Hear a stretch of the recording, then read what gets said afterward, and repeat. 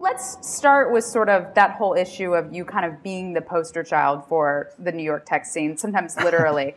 um, you know, I know there's there's always entrepreneurs in the valley who say like, "Oh, we didn't want the hype. The hype was put onto us." And like, look, I worked at TechCrunch in the time when we wrote about Foursquare every five minutes. I know Yeah. you weren't calling TechCrunch and saying write about us every five minutes, but you were doing Gap ads. You were doing you know Best Buy commercials now. So how much of the hype, you know, did you did you court, and how much of it was done to you?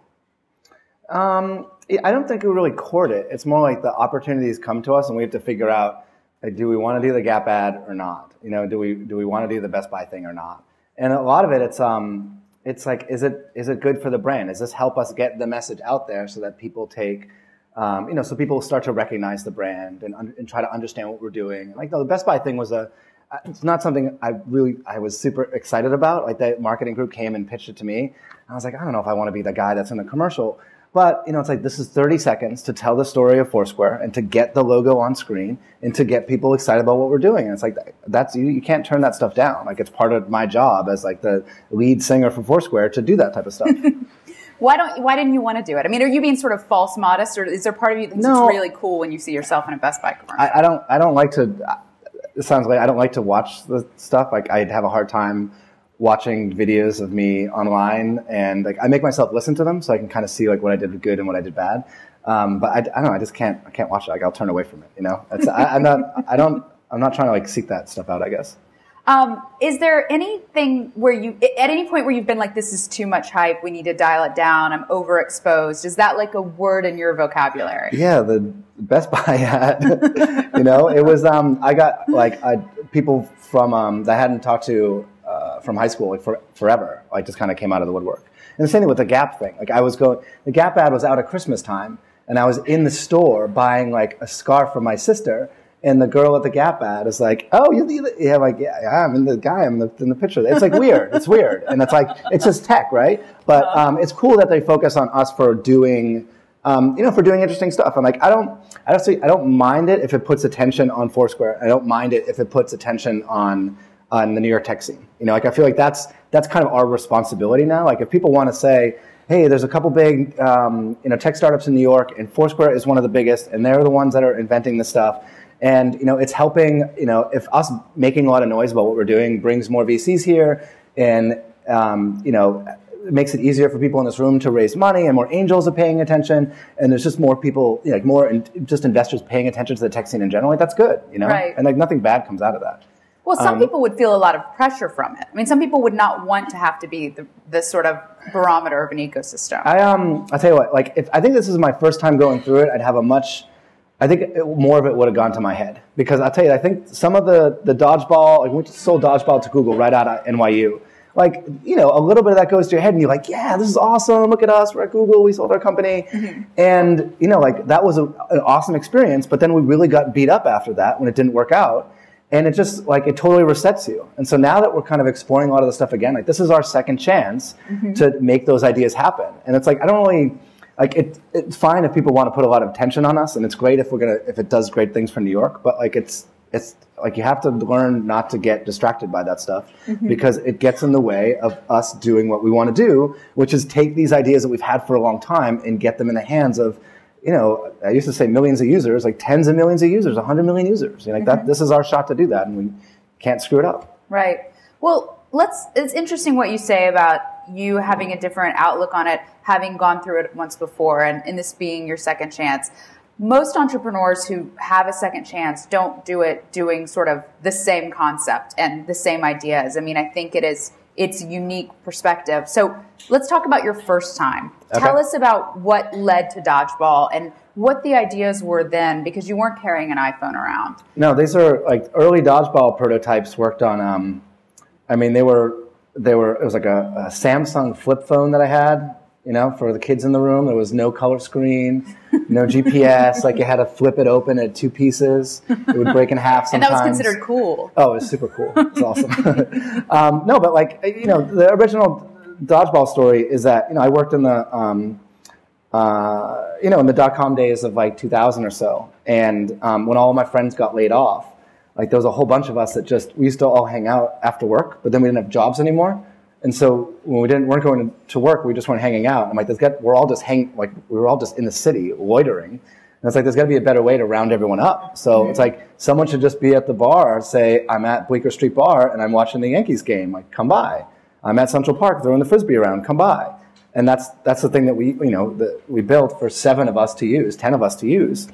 And you know it, it worked. It worked fine for those days. And mm-hmm. then um, you know worked on it for a bit, kind of put it aside for a couple of years, went back to NYU, met up with Alex, and then after a year at NYU, we decided to revisit some of those ideas. And the phones were a little bit better because they had color screens, and um, they had there was one phone that had a camera, which is really cool, but still no GPS, no apps. Mm-hmm. Um, and you know, we just kind of revisited. The, the big difference then was you know, Friendster had already come out, and people knew uh, people knew what social networks were. It's like, oh yeah, I'm collecting my friends like I would collect baseball cards or stamps. Yeah, I get that. Mm-hmm. And so we were able to build that stuff into Dodgeball and then say, yeah, but it's a social network that you take with you. I thought that was someone in the back. I was like, what? it's a really weird crowd. He's yeah. really excited about what you're yeah, talking but, about.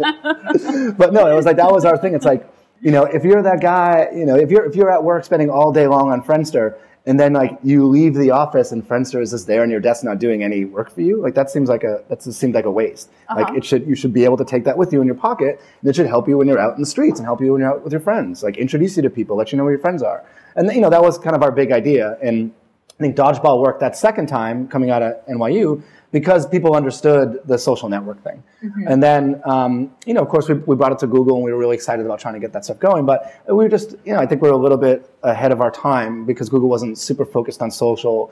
Um, there wasn't a lot of people that, um, you know, it was, it was cumbersome to use. You had to be a real, like, you had to be really dedicated to, to use Dodgeball, you know, mm-hmm. just because like it was, it was tough to use because we didn't have that, um, you know, we didn't have apps, we didn't have GPS. And then when we restarted, you know, we started um, to resurrect some of that stuff with, uh, with Foursquare, some of those ideas. Like it was just a lot easier. It's like this is iPhone is the device that we wanted. We can run apps. Like people know what apps are. Those apps right. have access to maps. People understand that the phone can know where you are, and we can use that stuff to make a much richer experience. Mm-hmm. So. Um, tell us about the experience um, with Google, because I know you've been pretty open about like it not being a great experience. First of all, how did that deal happen? Um, like how did it come about? Yeah, I, just got connected with some folks at Google, mm-hmm. and um, you know, we were we were out trying to fundraise at the time. Um, uh, you know, I, I, mean, I took a trip to Sand Hill Road, like fresh out of NYU, and I remember being there. I took like a cab from the airport, which was super expensive.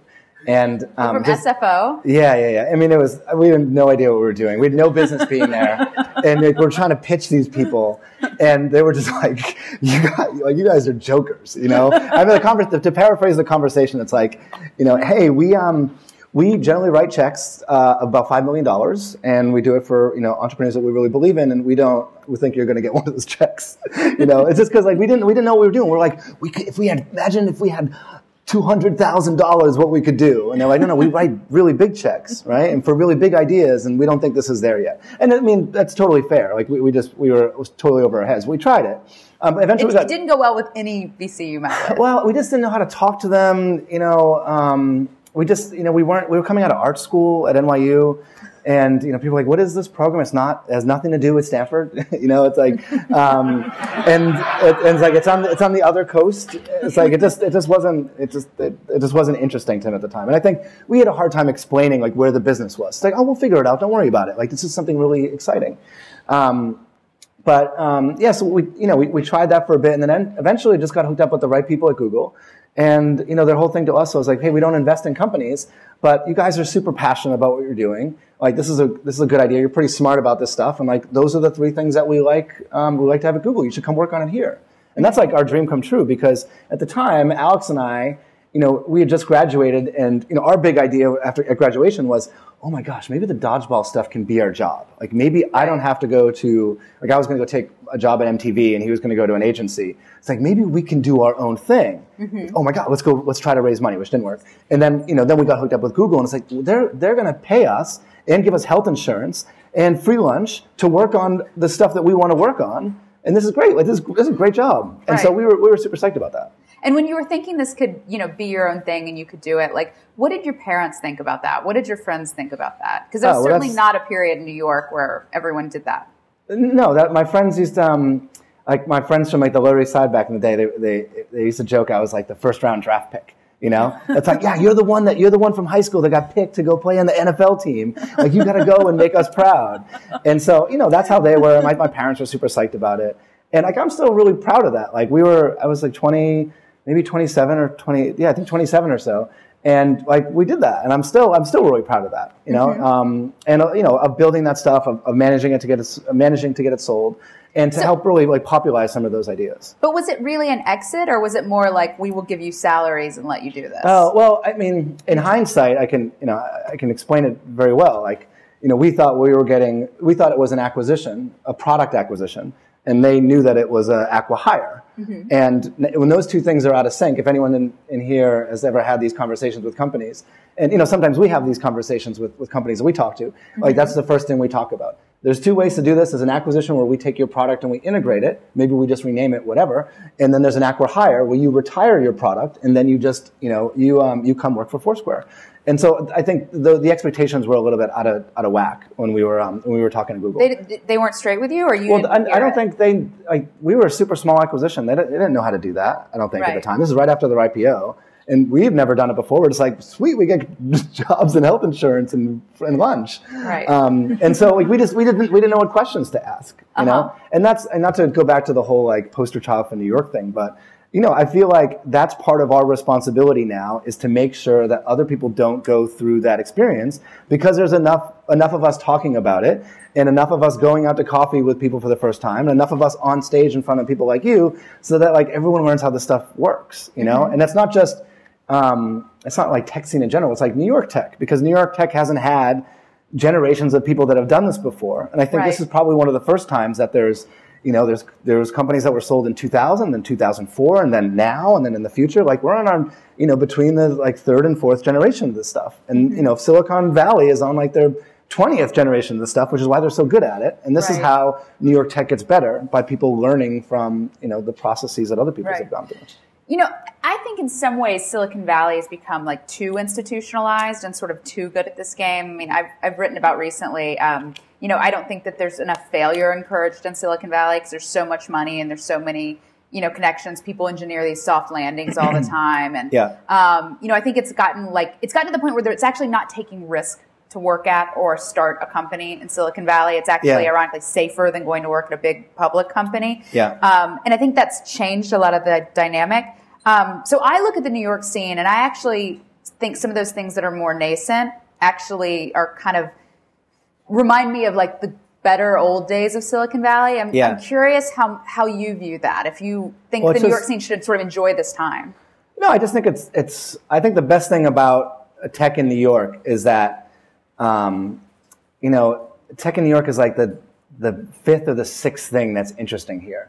It's like finance and publishing and fashion and music, and it's it's everything else. And then like you can go to the bars and hang out here, and it's like oh oh none of you guys work in tech. That's awesome, you know.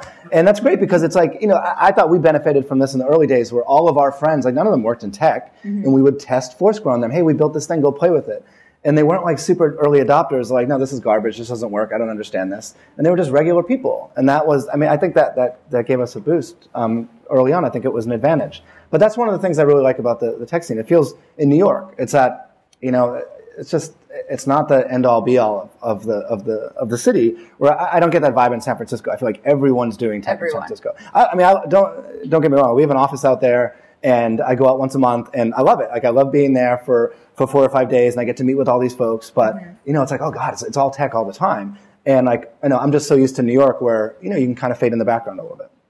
Um, do you feel like, I mean, like a lot of entrepreneurs have said they moved to Silicon Valley, particularly from LA, because there is no distraction. Because there's this idea that you need to spend every waking hour building your company if you're an entrepreneur and that is sort of all there is and everyone around you is also building or working for a company yeah. and you know people like to say there's like no girls and all this stuff so it's like there's few distractions yeah, whereas yeah. here that's not the case i mean can you have too much work life balance yeah, well, it, it, can be like a little bit of an echo chamber. You know, if all of your friends are all doing startup stuff and like everyone's seen every permutation of every possible idea there is for an app, like it's just I don't know. I think it's it's I always found it more interesting just to you know to pitch things and have conversations with, and especially talk about technology and talk about ideas um, with people that aren't in the scene. You know, it's like you're connecting with the, the you know the real people that are supposed to use this stuff, not the elite class of people that are actually building it. You know, like it's I think it's easier to build stuff that we all want to use, you know, together,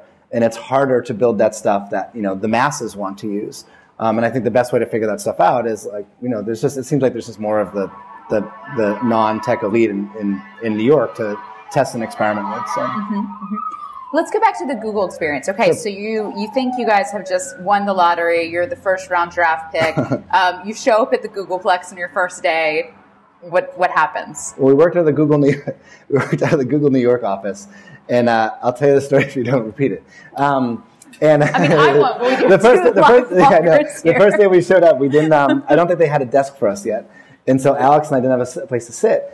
And remember, we came out of grad school. We were like saving pennies to buy, you know, two dollar pizza at NYU, and then suddenly everything you can eat, everything you can drink, and so we were just like, you don't even have to pay for the sodas. And we drank like six Snapples and two Cokes, and eventually I was like, oh my god, I'm so sick, and like we had to go lay down on one of the couches, and our boss came and found us. He's like, I've been looking all day, looking around for you guys all day. And we're like laying down. I was like, oh my god, we're so sick. We ate all the food, we drank all the Snapples. I, I think they were just like, oh my god, you guys. Um, no, but like it took us, it, you know, it took us a little, uh, a little while to get up to speed there, right? Because we were outside of that story and to get the Snap out of our system. But it's, you know, It's like a kid trick or treating for the first yes. time. well, that's what we were. Like they were like, look at all the Snapples, every flavor, and then all you can eat M and M's. Like people used to joke about the Google 15. Like that was Yeah. that was us after like two days. You know. Um, we still joke like when we send Foursquare, like when Foursquare people go to Google, it's like take a backpack and fill it with free M and M's and bring it back for us. Um, no, but like it took us it took us a while to figure out how to how to how to you know work within Google. Like we were two kids at NYU that worked you know 15 hour days, all at all weird hours, like sometimes out of the lab, sometimes out of a coffee shop. And now there's you know there's a lot of structure.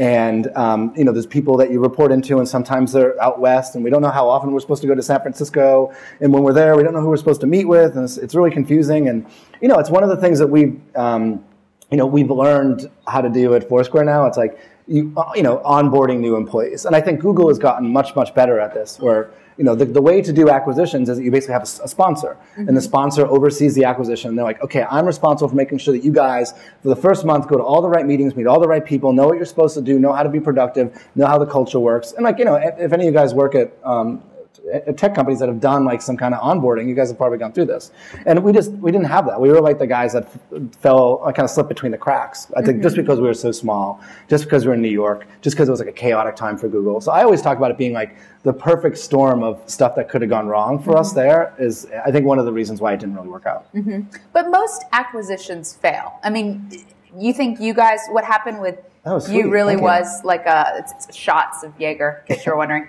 Um, I mean, what happened with you? How much did you look at it and say that was our naivete, that was Google versus shit, this just doesn't work being acquired as a startup and I'll never do it again? When we were there, we were just we were just mad because we didn't know what to do. And in hindsight, you know, I can appreciate. Um, uh, well, and I appreciate that's the wrong word, but I, I mean, I understand what happened because like we have two offices now, and it's only you know 150 people. It's a lot of people, but like it's not the 10,000 people that Google was at the time. And keeping people in sync across two offices and having people report to a, manager, it's, and that, that's hard to do. Like it's hard to do at our size. It's really hard to do at their size. And we were just like like we were like firecrackers coming out of NYU, just like all we want to do is do this. This is our shot. We're going to change the world. Millions of users, and it's just like it just didn't fit into their strategy at the time, and we had a hard time having our, our voice heard. Right. So I mean, I, I- I don't like.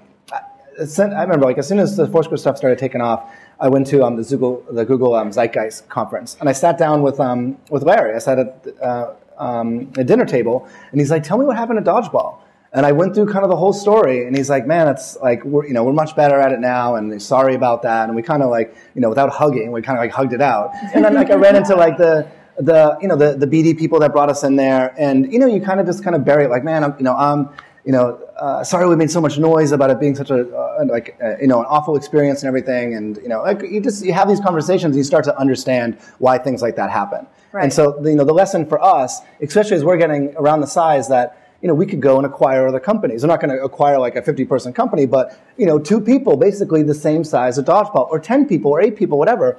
Like, we know how to have the conversation with those folks. Like, listen, I went through this before. I'll tell you exactly what we expect. And like, mm-hmm. I wouldn't know how to do that unless we had already gone through it. And it's mm-hmm. cool to be on the other side of it and to have those conversations with folks, you know? So what was the nadir of your Google experience? I mean, was there a day where you were just like, I'm out of here. This is so awful. What have I done? Um, we, um, yeah, there was a, we were on a, a, a video chat and, um, you know, it was talking about like what projects are going to get resourced. And then, um, you know, I was, you know, one of the guys, one of like 40 people on the call, and I was like, "What about dodgeball?" It's like, "Dodgeball? What is dodgeball? Is that even on the list?" And I was like, "Come on, guys!" and then that that was kind of the beginning of the end of it. But you know, it was just it was just really hard to get your voice heard. All the a lot of the decisions are made out west, and you're in you're in New York, and there's not like you you have to have like a real champion working for you um, or working or being part of our team. And we just like we just didn't know how to play the system then. You know, you, you just don't.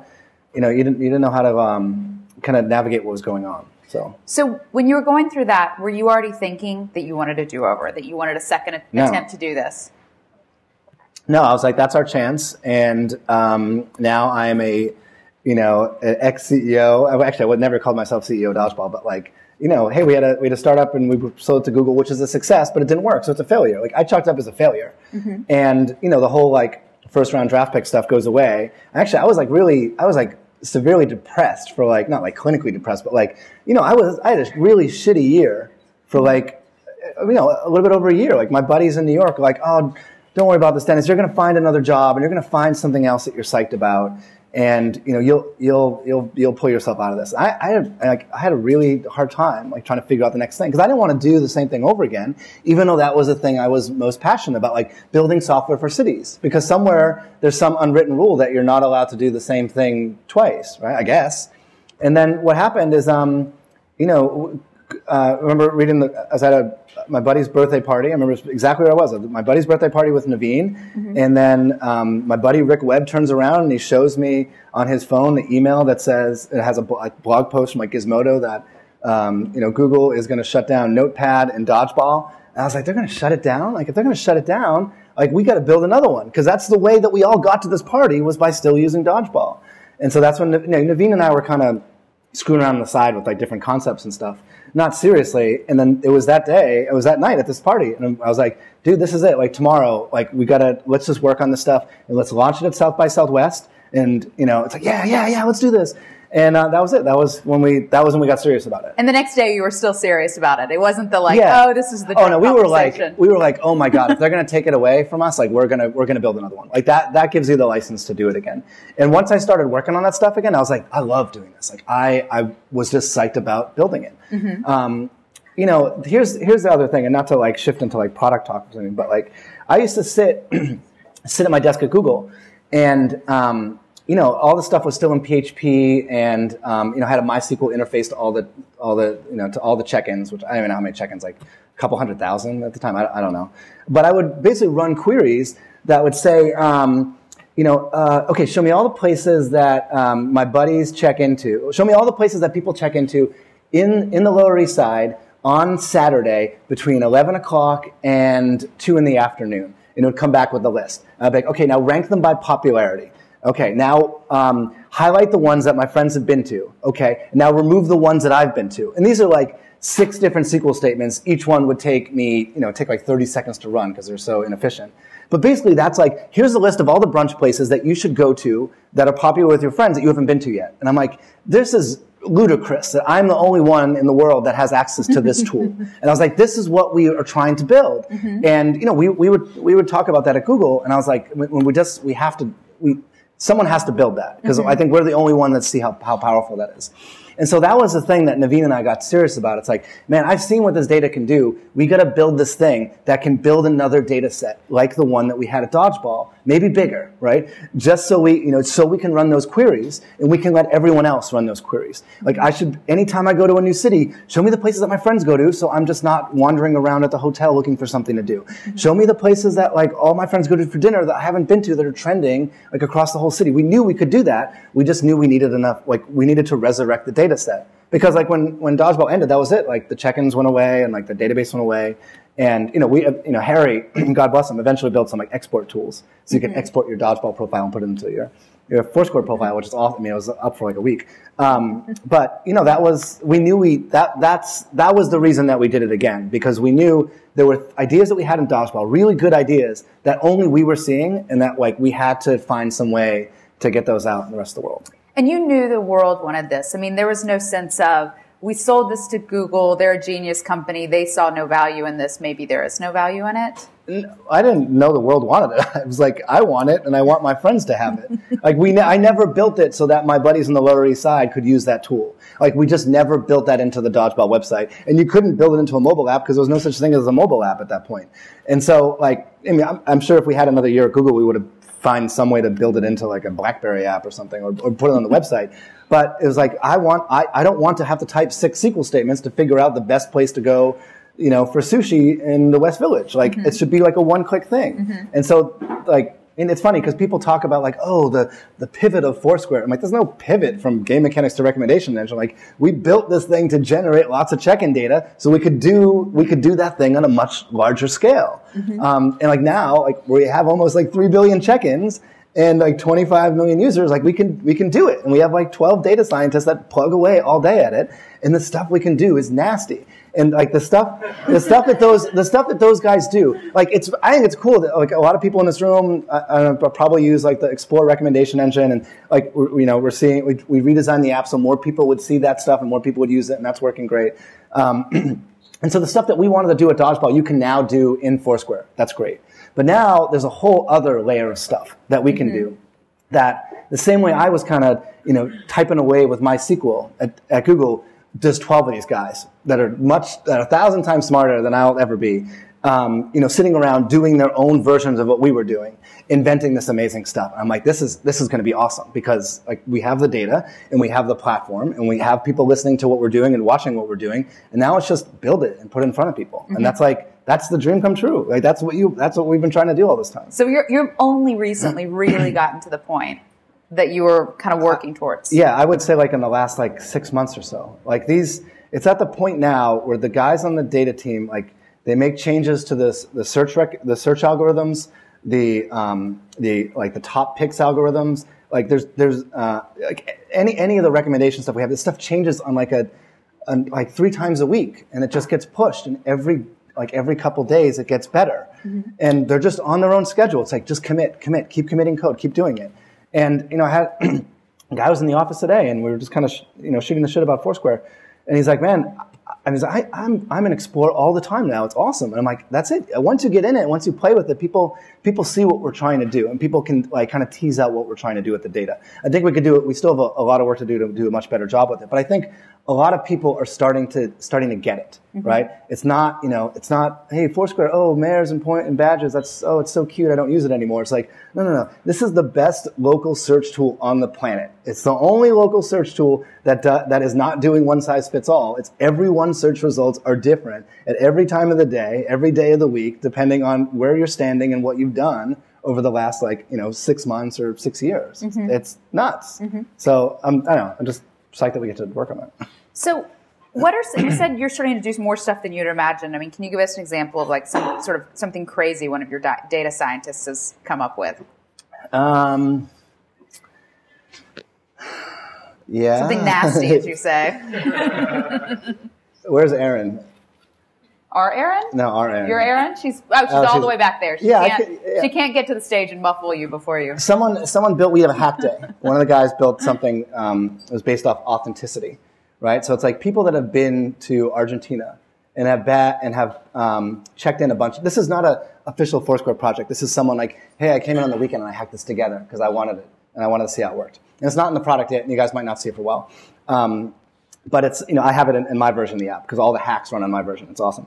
Um, it's like it's like Foursquare and steroids. It's rad. And it's like okay, of all the people that have ever been to um, Argentina have a lot of check-ins in the country of Argentina, what are the Argentinian places that they go to in New York? Like, mm. how do you rank authenticity based upon the travels that other people have had? That's people cool. that have gone to tapas, tapas restaurants in Spain. What are the ones that they go to? What is just the one that they go to in New York? right? Because that's probably the one that's best. And then find 10 people that have had that same type of authentic uh, experience and, and rank the results that way. Mm-hmm. And so that's, that is something I would never have thought of. But this guy is like, hey, I just, I want to run the query and find out. And that's what you end up like, it's just a different lens into a lot of the data. Mm-hmm. You know, I don't know if any of you guys have seen the, um, the Radar product that we have. We launched it last October. And Radar is this idea of, you know, how do you build a version of Foursquare that you don't have to use? It's just in your pocket. You turn Radar on, and Radar listens to where you go. And it's like, oh, well, these are the things you need to pay attention to. Like, you know, on my walk over here, you know, as soon as I turn the corner on Allen, Radar perks up, and it's like, oh, there's an art gallery here that you saved to one of your list, you know, three weeks ago that you said you wanted to go to. Mm-hmm. And I'm like, that's that's it. That's that's how the future of this stuff is going to work. Like just ambient awareness of all this interesting stuff going on around you. Mm-hmm. Like, you know, it's it asks it's asking a lot of users to be like, anytime you want to do anything, pull out your phone and ask it a question. Like that's just not how the world is going to work like a year from now. Right. It's going to work. It's like these phones are a bunch of sensors that are connected to the network that's connected to the graph and the global information superhighway. And we're going to be able to use all the signals from the phone combined with all the signals on the web to figure out what things are interesting to you right now. That's right? interesting. And like it, it works. Like radar doesn't work as well as we want it to um, and you know, some of the data guys are working specifically on that. It's like get radar working the way we want it, so we can launch it, you know, soon, so we can get people in the room playing with it. Mm-hmm. Um, and you know, like every every couple, like every week or so, we get a little bit closer to that. That's interesting because it reminds me a little bit of like the big vision that Color painted when it came out of like, oh, the camera will bring in light and bring in things and be able to tell yeah. you where you are and all this. But like, you know, here you guys just kind of did it or are doing it. Yeah, it's just go out and do it. You know, like the first ver- first version of, um, of Radar was based around like check-in reminders. You know, like, have, you, have you guys ever turned on Radar or used it? Right? A couple people. Yeah, I mean, it drains your battery pretty. Like, the, the, there's always a problem with battery life with phones. And the, I'll tell you, the iPhone 5 is a lot better than I thought it was going to be at um, at, with battery life. And so, you know, I've got my radar and my super version of Foursquare turned all the way up to be very, very aggressive. And it's like, okay, I'm, I'm, having kind of a cool time with it. But like, you know, you go into a Starbucks and you sit in the Starbucks for five minutes and then Foursquare buzzes. It's like, oh, you're at that Starbucks again. Do you want to check in? I'm like, yes, I do. Thank you, Foursquare. You're kind of smart. you know, you walk into the sandwich shop that you haven't been to before and it's like, oh, uh, Alex left a tip here two days ago um, about this sandwich. You know, do you want to see it? I'm like, you bet I would like to see that. And it's like, you know, it's like having your, having your little Foursquare buddy in your pocket that tells you about the place you just walked into, in the place that's around the corner, mm-hmm. in the city you just landed in. Like that's what we've been, you know, that that's what we wanted to build back at NYU. Right. And it's like it was impossible. Like there was no way to do any of that stuff. And now we got 150 people, all the data, we've got the people that can go through it, we got the devices that are smart enough, and we've got I get to sit on stage and talk about this stuff because like we're the only ones that are doing it. Mm-hmm. And it's like that's that's like the most exciting thing in the world because um, this is what we, you know, it sounds corny. This is what we dreamed about doing all that time, you know, mm-hmm. and NYU and everything. No, I think the thing that's tricky about Foursquare, at least for someone like me and a lot of my friends, I mean, my friends tended to fall into two buckets. They were either people who were just the super early adopters of Foursquare and loved it, and my Twitter feed was full of them checking in everywhere they went, yeah. and like girlfriends were following boyfriends around places, and there were all these like Foursquare politics going on yeah, everywhere, yeah, and like, you know, we're just like rabid about it. And I remember we have a big annual party at our house, and it was like people were mayors of our house, we didn't know. And, um, and, you know, I never was a big Foursquare user because I don't want people to know where I am yeah. because they'll come and pitch me and I mm-hmm. don't always want to be pitched. And so to me, like giving up my location, like a badge wasn't enough to get me there. Yeah, yeah. Now, obviously it was for a lot of other people and that's created 3 billion check-ins, which has powered all this cool stuff you're yeah. doing. But then how do you get all the people who kind of were turned off by the privacy, but you know, this stuff is kind of the cool stuff that yeah. would be worth giving up the privacy. How do you get them sort of where all those other people are? And do people need to all be active check-iners to get the value out of the new stuff? Yeah, this is like this is kind of the, the big switch from um, from last year to this year, and this is why we ended up doing kind of that little redesign of the app. Is we started to see this cohort of users, it's like back in January or so, and there was a lot of people that were signing up. I don't know where they came from, like if, where they heard about it or whatever. But they were signing up and they, they weren't checking in. They were they were just in the app and doing other stuff in the app. And you know, we looked at it. And it's like is something broken? Like did we push push a broken version or, to these new users? And then you look into it, and it's like no, they're just they don't want to check in. They just want to use the recommendations. They just want to use the tips at a place. And I think you know it's a little bit of like I don't remember how many check-ins we had at the time, but I think it was probably around like two and a half billion check-ins, maybe somewhere between two and two and a half. That there's just enough stuff mm-hmm. in the there's enough data and there's enough content that you can just you know you can download the app and sign up. You don't have to have friends on it. You don't have to check in anywhere. It's just it's still smart enough to tell you where to go. Like there's a whole bunch of Amex specials that give you discounts. Know, there's a whole bunch of tips that tell you what to order at a certain restaurant. And um, you know, Twitter went through this this little transformation. Like for a long time, if you go back and look at like the archives on the internet, you know, it was all about how many people are tweeting, who's tweeting, like how many tweets are created. And then, you know, suddenly the story switches and it's like, it's not about the people tweeting, it's about the people that are consuming the content that the tweeters create, the Twitterers, mm-hmm. the tweeters. And, um, and we're in the same thing, you know, like we're kind of going through that same transformation now. Like, yeah, there's still a ton of people checking in. We get millions of check-ins every day. There's also a lot of people that are just kind of lurking on the site, take, on, on, on the app, taking advantage of all the other content those people are creating, mm-hmm. right? And so that's, that's, um, you know, one of the things that we identify. It's like, all right, how do we change the app so that people can take advantage of that, so people can get to explore easier, so mm-hmm. people can see those recommendations um, even without having to check in places. And do you think you're there now? I think we're starting to get there. I think um, you know the app definitely got a lot easier to use when it went from five tabs down to three. And now we think about like, all right, well, what's next? Like, do we end up merging some of that? Do we make it simpler? You know, like, I think that's a, a like we don't need we have we have a ton of a ton of ideas at Foursquare. We have whiteboards full of things, features that we could build. Like that is not our problem. Our problem is like simplifying. Mm-hmm. And you know, when you download the app and after you spend 15 seconds with it, after the brand new user from Dallas downloads it, like how do we make sure that they know exactly what they're supposed to use this for? When are they when are they supposed to pull it out of their pocket? Why are they supposed to share? How often are they supposed to go into Explorer? Like people people like as we get to the, the muggles, like the normal people in the world using our stuff, like we don't do a good job at explaining that. And mm-hmm. that's the, that's the big opportunity to fix for us, you know? And I wonder how much that's a marketing challenge because you guys, again, going back to the hype in the yeah. press, you got so much attention for check-ins and badges and gamification. You know, I mean, every time I talk to someone, you know, I've, I've talk I, I, know enough about you guys to know that you know there is kind of this other side to it and you don't have to be this active user. But you know i talk to a lot of people who are muggles who feel like oh foursquare that was a thing cool tech people did three years ago. I mean yeah.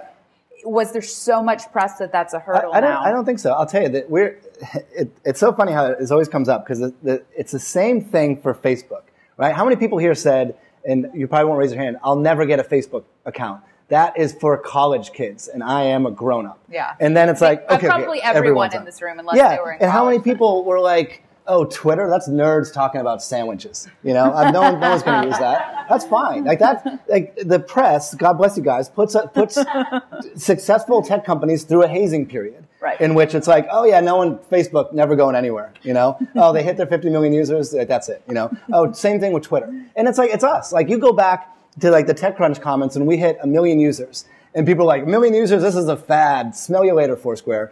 And then three years later, you know, we hit 25 millions. It's like, oh, same thing. People still talking trash in the comments. It's a, it's just, you, like. I mean, part of that is just the TechCrunch comments. I just I, I, I, I, know, but it's like, but this is, this is what tech companies go through, right? For and sure. this is why, like, when, and this is like a, uh, like a lesson we had to learn. It's like, you just kind of put your head down and ignore what the haters are saying. And you're like, listen, I've seen the MySQL statements. I see what the data can do. And when I show it to the people that write those nasty comments, I'm like, your mind's going to be blown and you're going to be singing a different song. It just might take us like another six months or eight months or 10 months to get there. Mm-hmm. And that's like, it's just part of it. And now we just, we understand how that works. Like, you know, I remember we were, we're a million users and we look at those comments like, oh my gosh, these people hate us. Maybe it is. It's a fad. It's not going anywhere.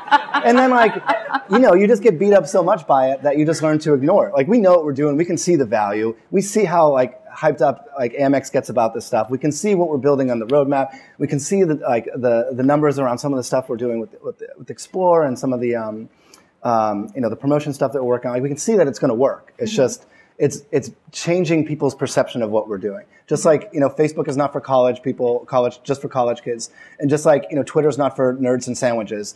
You know, Foursquare is more than points and badges and games. Like we're building, you know, the best ever local search tool, all powered off this big data system of check-ins, mm-hmm. and it just takes people a while to get there. But Facebook and Twitter both got huge and had huge, like Facebook, Twitter, YouTube had just massive pop culture resonance. I mean, every yeah. TV show has a Twitter hashtag on it. Mm-hmm. You know, presidential debates are on YouTube. I mean, you know, this massive cultural relevance. And you know, that was what crossing the chasm out of the nerds was. Yeah. So I'm curious with Foursquare, do you have to get that big to be successful? And is that your goal that there's Foursquare check-ins on No, every beer commercial or Yeah, it's funny because people compare compare the numbers. Like, oh, we haven't you haven't hit uh, you know the Facebook scale of where they were at this at this time or Twitter scale, and it's like, well, it's a different product. You know, there are lots of social. There's a lot of social. Um, social tools built into built into Foursquare. Like check-ins, totally social. People are pushing it to all these different networks. But like it's a it's a utility. It's meant to help your everyday be a little bit better. It's it's you know it's not the the time wasting app that you read on the bus and that you read while you're waiting for the ATM or the elevator. You know everyone has those apps. Um, you know, like it's the thing that that tells you what to do, and you may only use it a couple times a week, and that's like we're fine with that. So like I don't think that we like we don't follow the same growth curves as those guys, and I think it's okay, you know, if if like we're not on that that that same path, because like the core usage of the app is different, and the environment in which you would use it is different.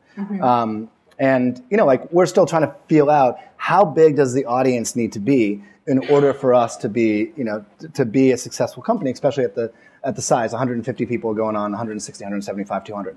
Um, and like that's something we, we still get to feel out, and depends on how well a lot of our monetization and and and um, uh, you know the promoted pilot that we're doing. It depends on how, a lot of uh, on, on how well that stuff ends up performing. But you know, it's not it's not like if we don't hit a billion users, we don't make it. It's not if we don't hit 500 million users. Like it's I mean, it could be it could be you know 50 million active users. It could be uh, 100 million, right? It's it's different. It's like this is local search. This is not just you know social on mobile or social on desktop. Right. Well, and let's talk about the challenges of local because, you know, it's long been one of the areas that Yahoo went after, AOL went after, Google went after. It was, you know, when I was sort of young and writing for, about tech for Business Week, everyone was obsessed with local. And then, you know, we saw Yelp and, you know, Groupon and Yelp sort of being, Yelp and Craigslist kind of being that slow burn and then Groupon Yeah, yeah. just coming out of the gate blazing and then, you know, doing horribly. Um, I mean, local is one of the hardest things that you can just block and tackle execute on the web because it's not about one network effect. It's about lots and lots and lots and lots of network effects. Yeah. So I'm curious, watching watching those guys and everyone struggle in this, you know, where you guys have maybe fallen into the same traps, um, traps you've avoided, how you've paced it. Yeah, well, I mean, we don't we don't have a sales team yet, right? And so that's one of the things that enables us to pace it. Like we're at 150 people, and it's you know it's a lot of product and engineering, and like as you know we're starting to round out the company with with all the other folks that we need to keep it running. But like you know our sales team is relatively small because we're still starting to experiment with this. You know, it's it's always funny. You look at um, you know the company companies with a lot of people. There's usually a big sales force behind them. Groupon, Google, Yeah. Yelp, you know, and you know, are are we going to get there? Are we going to need to scale up our sales organization to, you know, 50, 100 people? Like, I don't know, like, you know, ask me that next year, and I'll have a better answer for you. Um, but I mean, that that's how that stuff goes very quickly. Was that the answer? What was the? I can't remember I the mean, question. well, I- well, I think it's. I mean, I think it's an answer. Yeah. Um, I mean, it, but it, it brings up another issue of you know why have you waited so long to have salespeople? I mean, you used to share an office with Curbed and Lockhart's on our Yeah, yeah. board, and um, Oh, that's he, cool, right? he told It was Lockhart's birthday party that um, the Oh, dodgeball really? news broke. Yeah. Oh, wow, Yeah, we're- there- we're a little family here. yeah. Um, Sorry for the moment we just shared.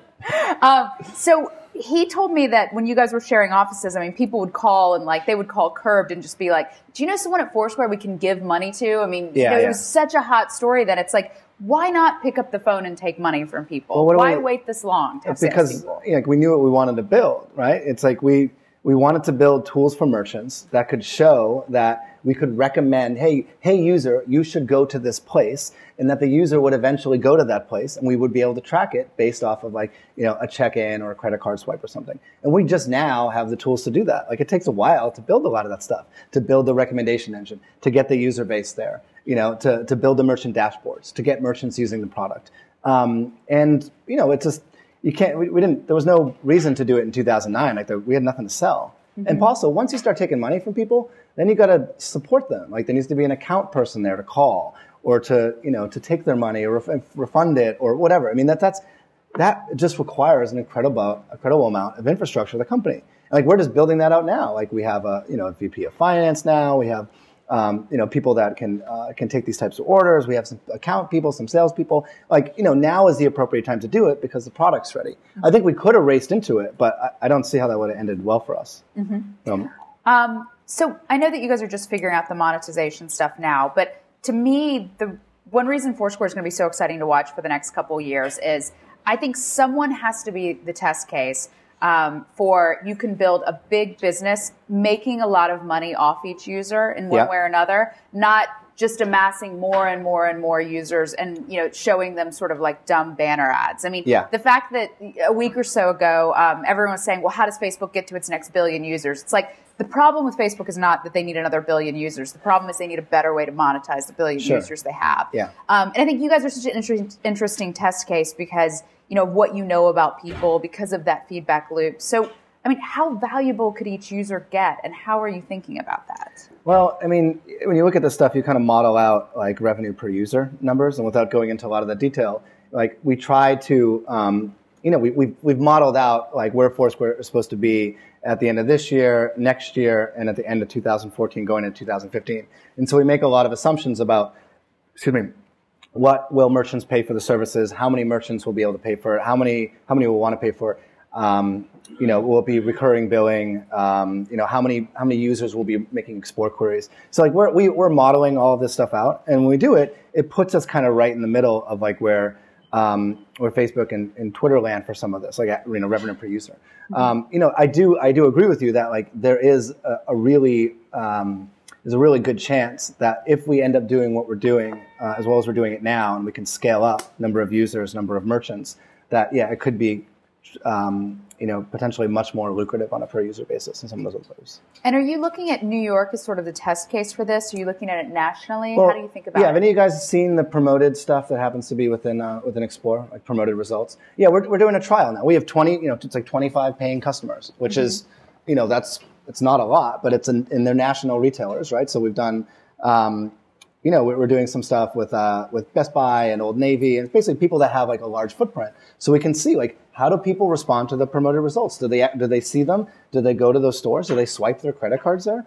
Um, you know, do people like them? Do they add value to the app? Do the do the merchants like them? Like, is allow them to be creative enough? Like the point now is not for us to be generating a ton of revenue. It's for us to learn how these tools are supposed to work, and then learn how the users respond to the um, respond to you know what we're experimenting with in terms of these these promotions. And it's like it's going it's going well so far, right? And so we, we like the way that's happening. You know, we have more than a million um, a million merchants have claimed their Foursquare place, right? So that's not the not, that's not a million places. There's what is it? There's 50 million places on Foursquare added by the community. Thank you guys very much. Um, and you know, one million of those places have been claimed by merchants. That's a million coffee shops and bars and restaurants. And so that's like our addressable audience. And so we, you know, we build self-service tools that um, enable merchants to pay for the, what we're doing with promoted offers. You suddenly have, you know, um, you suddenly have this engine that is now available to those million merchants that are registered. And so if you start to kind of lay this thing out, it looks a lot like Google AdWords targeted just at local, exclusively on mobile. You know, that is kind of the summary of the monetization plan. And that is a huge opportunity if mm-hmm. we can get that just right. Mm-hmm. And, you know, look at the stuff that I'm telling you about what the app can do and how excited we are and what the data can do for consumers. And, you know, you should see the stuff we can do on the merchant side. Like, we have a really good shot at making that happen. Tell us what you can do on the merchant side. Well, I mean, like you've seen some of the stuff in the in the, in the merchant dashboard already. Like, I don't know if anyone here has claimed a venue on, on Foursquare, but you know, you can you can see you know standard analytics like uh, who are the who are the folks that, that have checked in. Um, you know, the mayor, the time of day, people checking the day of week, the ebb and flow. Are you up or down? But then you start to think about like how do you segment those those users? Like, can you target specific deals at specific customers? Like, this person comes here all the time. They are one of your best customers. Um, but some places open up across the street and you're worried about losing them. So, you know, you end up, you, you target a specific uh, 20% off promotion just to those users that have been really loyal, right? You can also say, who are the people that used to check in here all the time and they don't come here anymore? I don't know where they went, but they went somewhere else. Can we target specifically those users and try to win them back? And then you've got things like, all right, you know, I have a, a restaurant in Soho, and there's a lot of people in Soho. A lot of people that are in the neighborhood at all, all hours of the day. How do I make sure that those people that have never been to my place but spend a lot of time in this neighborhood know about my place and come by and check it out?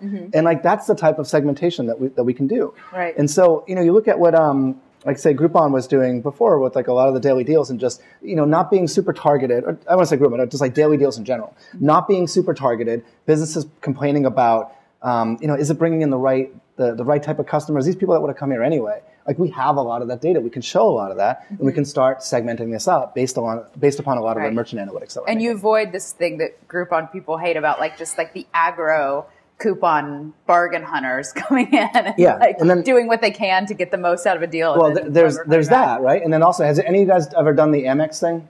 Right? So yeah, the Amex thing is rad, right? And it. know why it's awesome? Because I don't have to give the coupon to the person at the end of the date. Yeah. I just swipe my card, and no one knows I got a discount on it, right? There's Mm-hmm. there's no like, it's not awkward, it's not embarrassing. It's like just happens between me and Foursquare and the infrastructure that's going on in the background, and like that's that's awesome. Like that's that's the redemption has always been a huge problem. And like you know, no one talks about how we've kind of fixed that, but like that's that's great. Like we solved we solved that problem. Do you think timing wise, you guys hit the market exactly right this time? I mean, it was certainly very early in the app economy. It was more substantial than a lot of other things, but you know, we're you know, it took a long time for iPhones to become mainstream enough. And how do you feel about that? Um, yeah, I think we, we timed it pretty well. I think, you know, the tough thing now, and, you know, some of you guys in the room might know it, like, it's tough to launch something new because there's like 10 things that launch every day and they're all pretty good and they're all kind of doing the same thing as something else. And like, I think if we were launching today, we'd have a much harder time. You know, we were, we were the only, you know, only ones that launched at South by Southwest 2009. Like we had the stage to ourselves. um, and so that, it's just not that, it's just not that way anymore. Um, I also think we, we, we had an advantage because like we had done this before. Like we, we weren't like, we have this idea. I wonder if it's going to work. I mean, like I had written those SQL queries a whole bunch of time. It's like, just build something that gets enough of those check-in data so we can start making those crazy queries and then just keep executing on that. Like we knew how the privacy model would work. We knew how the tip stuff would work. We knew, you know, that, you know, when someone's checked in, you only stay checked in for three hours. You got to give people tools so that they can block their ex-girlfriend so it's not awkward. Like we, we knew all that stuff. Um, and so it wasn't learning on the fly. It was just, you know, build, build, build, build, build. And now we're at the point where it's like, okay, now we can start doing some of the more experimental stuff. You mm-hmm. know, th- th- some of the stuff where it's like, all right, we gotta, we gotta test this and see how it works. So is this more fun? Was that more tedious? Uh, no, it's all it's all fun. Like when you have something that takes off, like like you know Foursquare did in 2009. Like there's that's super fun. I mean, it's it's kind of awful at the same time. It's like your classic good problems to have. Like imagine if we had a million users, and then it's like, oh my god, we have a million users. Like everything's melting all the time. Um, so yeah, it's it's it, it's it's fun and it's not fun. Just like you know every day now. Like for you guys that are doing startups here, Yeah. like. You know, I know there's like a, some reality TV show about people doing startups, right? They're not really doing startups. Oh, is it like the Hills? It's like the, come on. They're well, yeah, it's scripted. Oh. I mean, they're li- they're living in a seventeen thousand dollar a month villa in the Oh. Castro. What entrepreneur does that? Uh, I, There's part of the activities are uh, female founder yoga. All right. So it is. It's, it's like the hills for startups. Yeah. Um, oh, that's a bummer. I didn't know that. Oh, anyway, 'cause, I mean, like so many people, like at Thanksgiving, you know, I'll go home and my family's like, "You run your own company. It's so much fun. You must be having the time of your life." And I'm like, "It's crazy. Like it's it's very hard. Like you know, Yeah. nine, nine to ten is good. 10 to 11 a.m. is a disaster. You know, lunchtime, maybe it's good. You know, it's like every day is a roller coaster. It's not like, oh, your life is a roller coaster. It's like every day, 9, 10, Yeah. 11, 12, 1, 2. And it's every day is I have that. to say that's the question that has pissed me off the most since starting a company is Yeah. people saying, "Are you having fun?" Like, Yeah. no, I'm Yeah. not having fun. Yeah, Are you kidding? I- like the highs, you wouldn't even describe as fun. They're like crazy. Yeah. But then, like, I mean, like this was the first. Like New York has been a really hard market for us to do events. I mean, our San. Francisco, the first one sold out, and we sold. You know, seventy thousand dollar memberships. The first one, like the LA one, sold out. Like New York has been hard for us, and this is the first New York event that sold out in like a day. Yeah. And it was like, oh, and like that's more than fun. That's like finally, like we've done five in this market. Like And now they're it's working, starting yeah. to, you know what I mean? You're starting to see it. So it's like the high is way more than fun. Yeah. But then like the, everything else is awful. I mean, it's just, Yeah. it's not fun Oh at yeah, all. I mean this is this is fun for me. This is like this is dessert on my day, right? And because I like this, I like talking to people and I like telling the story and I like telling people like it's hard and impossible and you think it's going to fall apart every single day, um, you know. And and you know, but like yeah, I have. Today was a good day where I had um I had like four product meetings and out of every single one we're like oh my gosh we're absolutely going to crush this Yeah. and you know but then like two nights ago like like oh you can't sleep because something's not working the way you want it to and you got to go and fix it and you don't know how to do it and you know you know that's just that's just the way it is you just got to get used to it Are you one of those guys who really likes those early days, or do you like when you get big enough? Because like I never want to do that.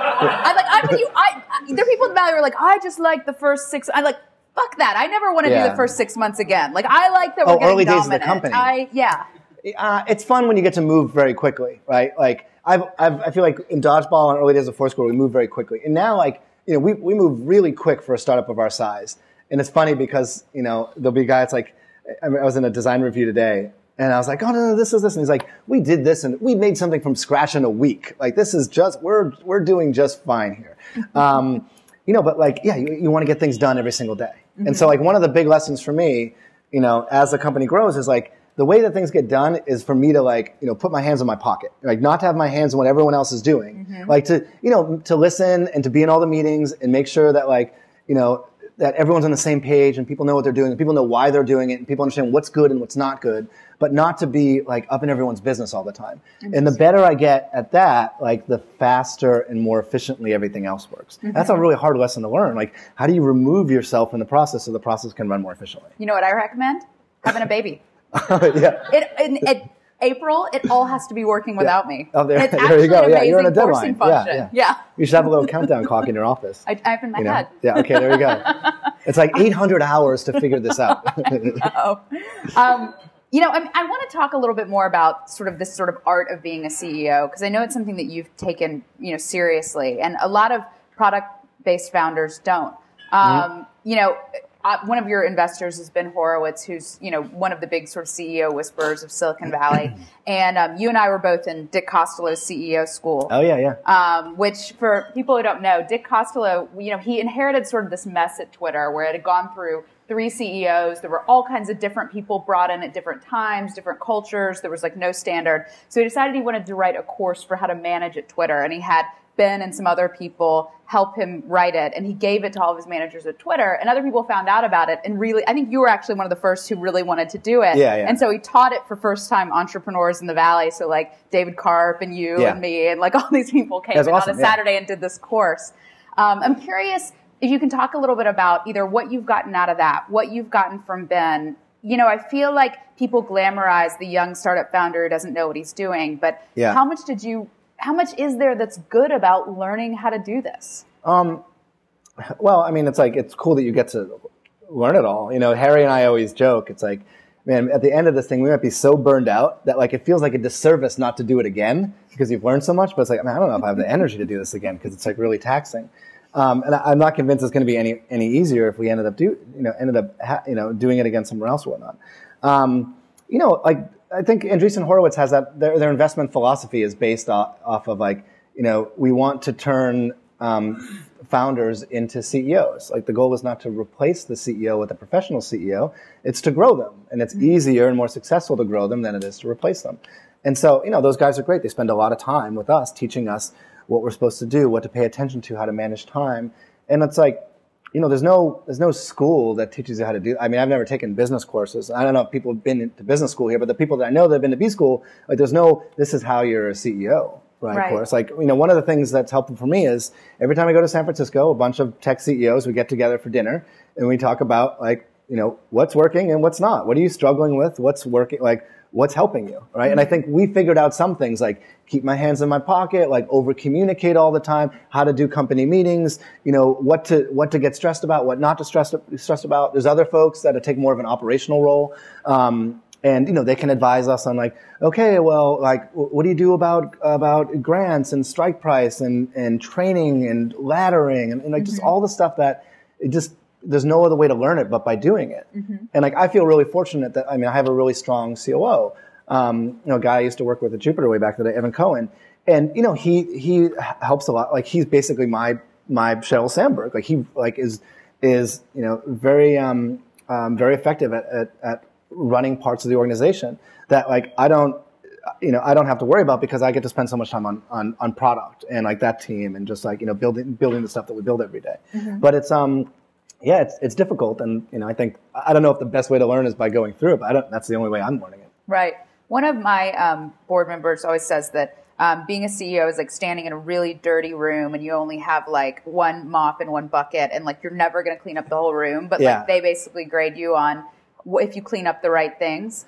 Yeah. Um, and a similar analogy was like Peter Thiel first told Mark Zuckerberg when they invested, like, you know, every you're gonna fuck stuff up and you're gonna fuck stuff up all day long, but like don't make sure you don't fuck up the wrong, you know, the wrong things. Yeah, yeah, yeah. So I'm curious, like, tell us about some of your mistakes and and or you know or maybe what are some of the things that you that were the, like maybe you fucked up everything else but like this was the thing you got right that was crucial that you got right um, crucial that we got right well like we put really good people in place of um, running key parts of the organization like i feel like i got lucky in a lot of ways like harry harry Heymann, who i used to i worked with at google and is um, he's our you know he's like our, our lead engineer he manages the engineering team it's a huge team and he, he hadn't done that before and he grew into that role like we didn't we didn't have to replace him. Like there was a moment where, you know, it's like, are you up for this? And he's like, yeah, I'm up for this. I can do this. And like, he's grown into it perfectly. Mm-hmm. You know, Alex, who I worked on with Dodgeball, is like, is running the product team. And he's managed people before, but not at this scale. And he's doing, he's doing really well with it.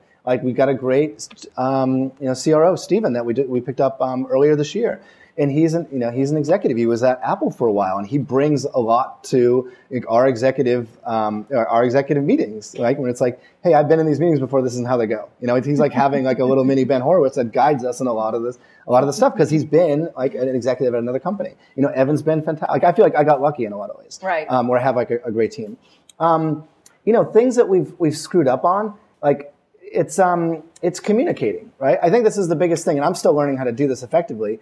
But like I, I cannot have things in my head about the company, the product, the business, anything um, that that aren't written down somewhere that people don't know about. Because it like I'm not going to do them. Like I, you know, I'm not like an individual contributor at the company. Like my goal is to get all the stuff that I think about, all the stuff that it comes up at meetings that no one captures, and make sure it gets spread throughout the company. Make sure everyone knows why we're doing, why we're doing it. And I think you know for for a while. Um, you know, I don't think we, we, were doing that effectively. You just assume like, oh, people came to Foursquare and they know what we're doing. They know why we're working on mm-hmm. this stuff. And then you turn around and you've got like 150 people and, you know, six people started last week and seven people started the week before. And then there was five people the week before that. And you're like, they don't know anything about, about what we're, what we're doing or like where the company came from. Like I gave a, um, I gave a, a talk at the, we did a company meeting. We do every Tuesday. And I gave like an hour and 15 minute talk about like, this is, this is where dodgeball came from. This is how we ended up at Google. This is what early prototypes look like. This is why we built it this way. This is why the screenshots look like this. This is why this thing in the app is still broken. Mm-hmm. And walk people through the whole story of the company because it's important for me that people understand like this is this is how the app got to be this way. This is why these things are important and these things aren't. This is why we're thinking about things this way. Mm-hmm. Um, and you know, one of the hard things for me because I've been doing this like we're almost on four years, three and a half years, four years with Foursquare. And you know, I was doing Google for two years and then Dodgeball for a couple years before that. Like, mm-hmm. I've I've heard myself tell the story a thousand times, and I'm sometimes sick of hearing myself tell it. But that is my job at Foursquare is to tell that story every single day to every single employee, so they they know what we're doing and they know why we're doing it. Mm-hmm. And that's the whole like over communicating thing. Once you get over the fact that oh man, I'm so sick of hearing myself talk about this, but that's that's what I got to do. Right. And that, that's proved that's proven to be um, to work okay for us. Let's talk about the fundraising side of things because, you know, back in the days when you guys were getting incredibly hyped, um, there was also all this news that, you know, people were making big acquisition offers. Mm-hmm. You were rather boldly turning down. The acquisition offers were competing with bigger and bigger valuations. You know, you wound up raising money at a pretty large valuation. Mm-hmm. I mean, how frenzied was that time inside the company? Because it looked frenzied from the outside. Well, yeah. Well, I mean, like we didn't know how to do the Series A, and I think we did an okay job with that. And then it came to the Series B where everyone was super focused on Foursquare and super excited about it. And we just, we didn't know how to handle that. You Did know? you get forced into the Series B? Were people sending you unsolicited term sheets or was it? Oh, well, I wouldn't say it, we, we, didn't get forced into it. We knew that, okay, this is the right time to do this. Okay. Um, but yeah, like, you know, when, when, I mean, there was a lot of blog coverage at the time, like, Foursquare is going to sell to this company or this company or this company wants to get in and they, they might choose these guys. Like, we, we didn't know how to, like, um, uh, now, now we know how to do this. Like it's called running a process, right? And you run a process and there's like, there's a start date and there's an end date. Dear venture capitalist, we would, we're doing a series B and we're going to come out and we're going to meet with people this week. This is the week we're going to start. And then we're going to meet with people the next week and there's a week to answer questions. And then the last week, this is the end date. And then you're going to give us your term sheets and then we're going to decide. And when you explain the process to people, it works. And we did that in our Series C and it worked very well. Mm-hmm. The Series B didn't have any process. And it was like the Wild West where people were showing up at the office to give us term sheets and chasing us down the street at South by Southwest to give us term sheets. And, you know, it was a different rumor every single day. And we just, we didn't do it very well. We didn't manage that very well. And so we've learned how to do that now. Mm-hmm. Um, and so I, I forgot your original question. Well, it's probably, probably more interesting than the question. Um, I mean, how did you navigate through that? Like, oh well, you just it, you yeah you you learn from other people. Like you go to those same CEO dinners. It's like, man, you just raised around. How did you do it? Like, how did you put these two people against each other? How did you get the prices way? What, what do you think about these terms? Are these good terms? Are these not ter- good terms? Should I optimize for price or terms or investor or board members? You know, like it's it's helpful to be able to ask those questions Right. to people that have done it before. What and what I mean, what are the answers? Because I feel like every CEO would give you, a, you know, a different a different answer based on his experience. Do you optimize for valuation? Is a is a too high of a valuation a danger? Because then there's a risk in the future of a down round. Yeah, it, it depends for. Um, uh, it, it depends. It's different for different stages. It's different for different companies. It's different for like you know your gro- your growth trajectory and like where where you end up seeing your monetization part uh, path, and like you know what chapter of the story are we are we now telling? Um, you know, people. It's funny. Like um, I was, uh, you know, I was talking to Ben Horowitz the other day, and like one of the one of the great things about um, the group of investors that we have is like they've seen the inside of lots of other companies. They've seen the inside of lots of different board meetings, and so it's not like I go to these guys and I'm like, "Here's my question. What is the answer?" Because that's that's just not how this works. They're like, okay, here's the problem you're having. Let me tell you four examples of four different anonymous companies and how they solve the same problem, and then you can figure out what you think is the best solution for the problem that, that you face, for the, the situation that you're in. And that's how, that's how it goes. You know, it's like, let's find a company that's kind of around our, that, that was at our size at a certain time, around the same valuation, and let's talk to the people that were involved in that round and find out what, what worked for them and what didn't work for them, you know? So, in hindsight, did you focus too much on valuation in the Series B? Did you? I, I don't think so. I think, I think we played our cards pretty well, um, you know, all, through all three rounds. So I, I don't really have any, any regrets about that at all. Mm-hmm. You don't worry about. Did you get too far ahead of your skis at any point in terms of price? No, I mean, it's you know, it's it's hard to tell unless like you're living in Excel all day long, right? Like I I base my optimism for the company around uh, our ability to execute on those MySQL statements. Mm-hmm. You know, I hate to keep going back to that example, but like I can see what we're doing, and I can you know because I've been doing this stuff for a long time, I feel like I have a good sense of like we are building stuff that people will not be able to live without. And there's lots of people that live in cities, and there's going to be more people living in cities, and more people using phones, and more people that know about location-based services, and more merchants using this stuff. It's like this is. I don't see how it, it doesn't it doesn't work out. You know, it's like we're in, we're in such a good position to take advantage of this.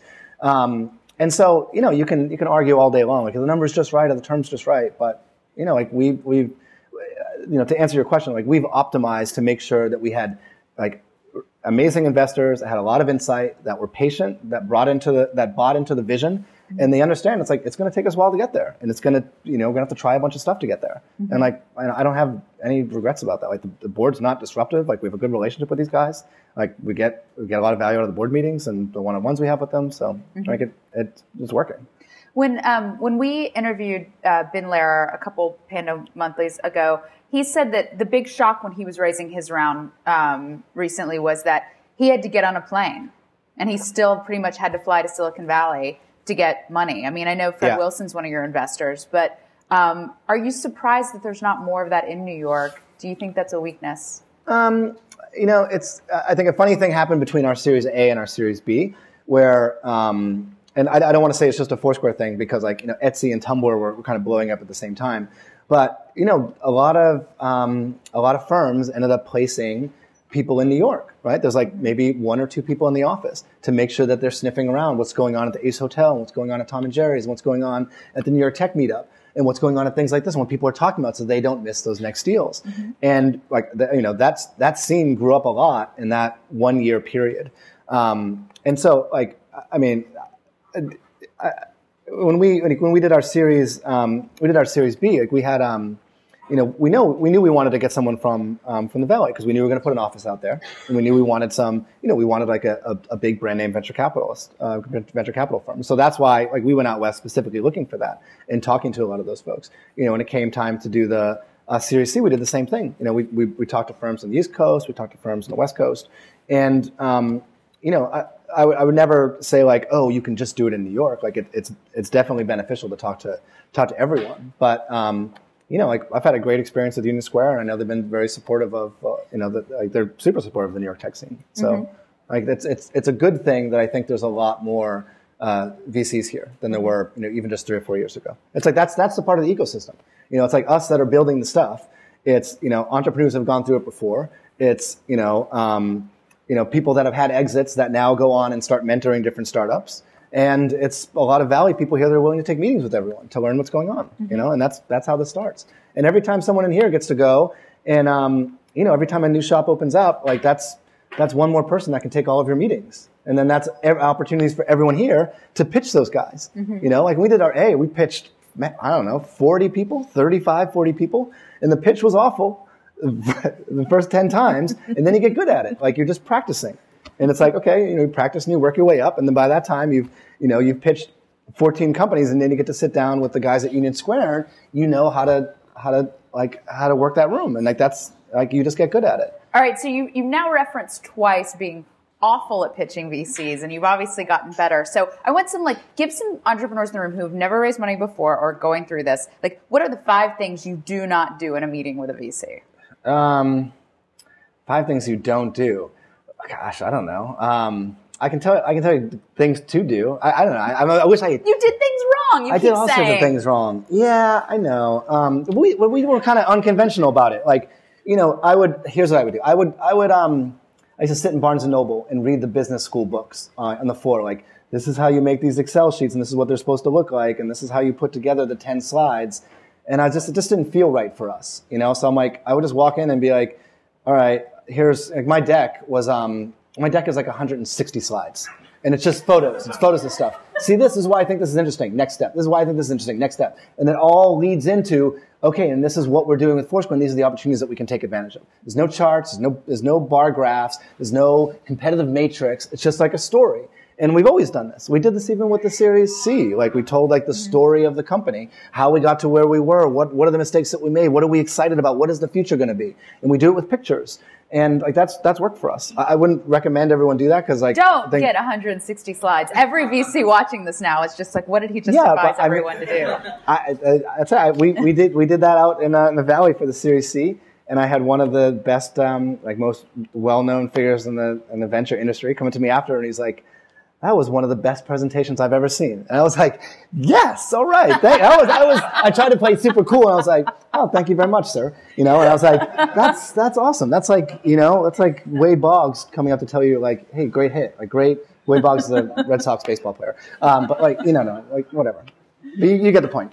No Um, one here is interested in baseball. Everyone interested in baseball is home watching the playoffs. Yeah, I don't know if you noticed I had Wade Boggs. It's like a 1986 Red Sox mention. So, Lockhart would love that. yeah, he, he, okay, would totally get it. Um, but no, I think I, here, here's the advice. It's like do the thing that works for you.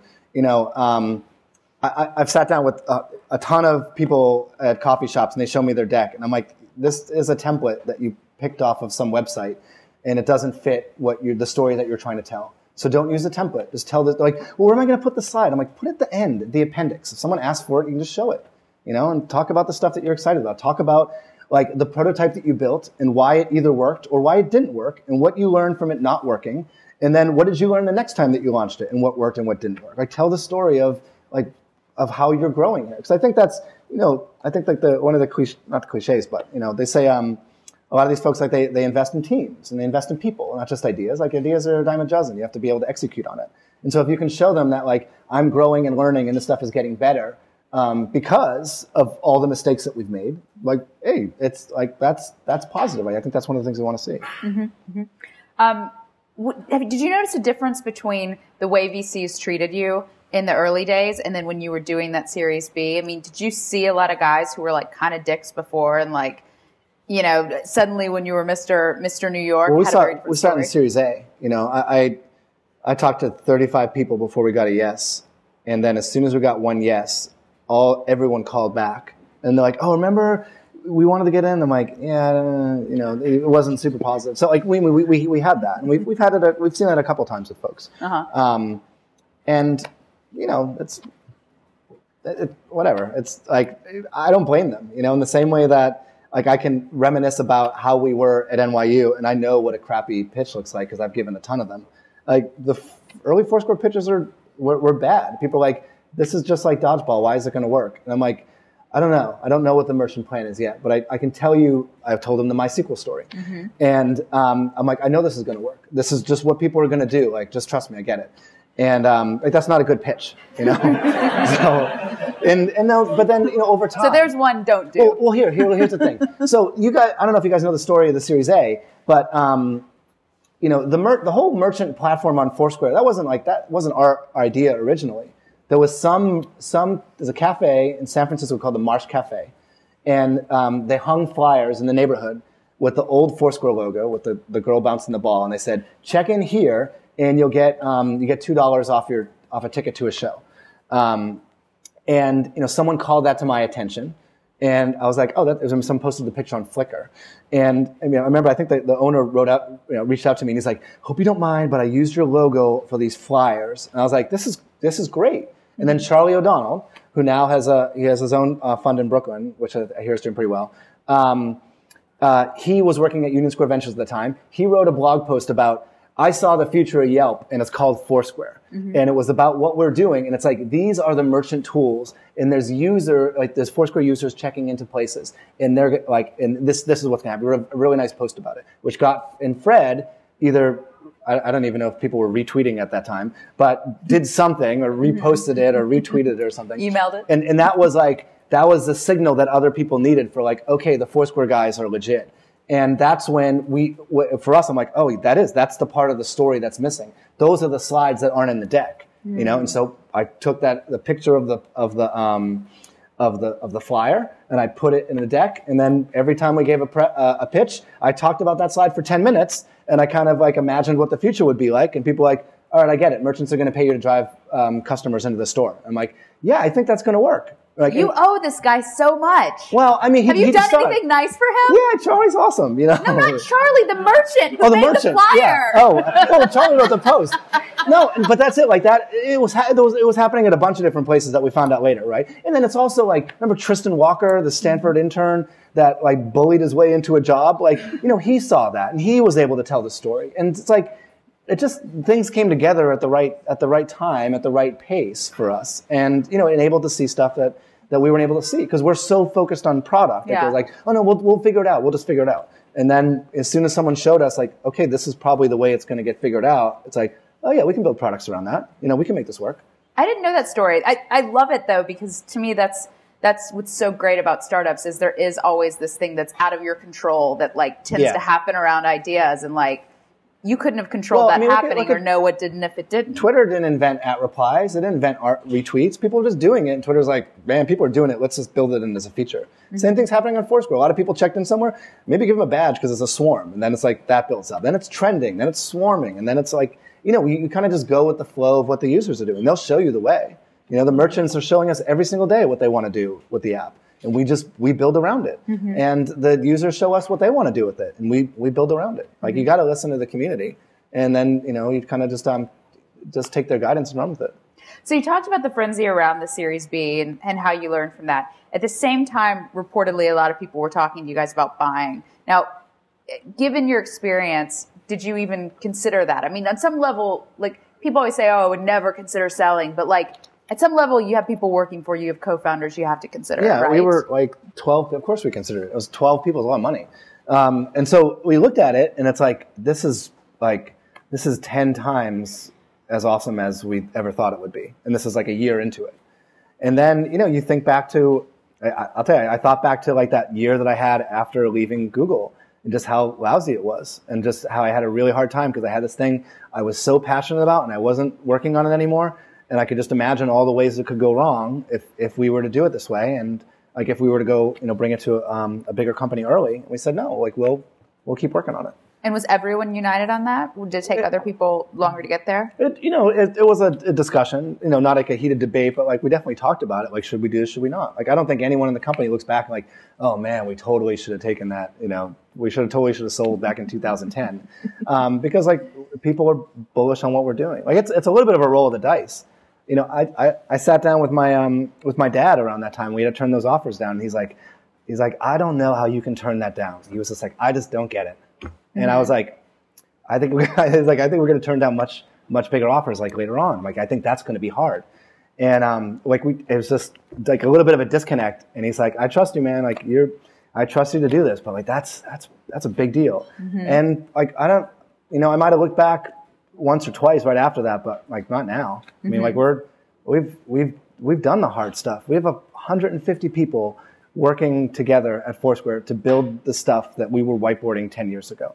Like that's that's the dream come true stuff. It's it sounds corny, but like this is our shot to do it. And like very few companies make it to this stage, and um, it's it's awesome. So you said later on you would have to turn down more money, and it worries you. Does that worry you now? I mean, the we have Kevin Systrom next week. Yeah, Billion dollars, hard to turn down. yeah. That's you know that's um that's that's a, a, a tough position to, to, to be in. Like you gotta you gotta really think about what you're doing and where you want to go. So, um, you know, I don't.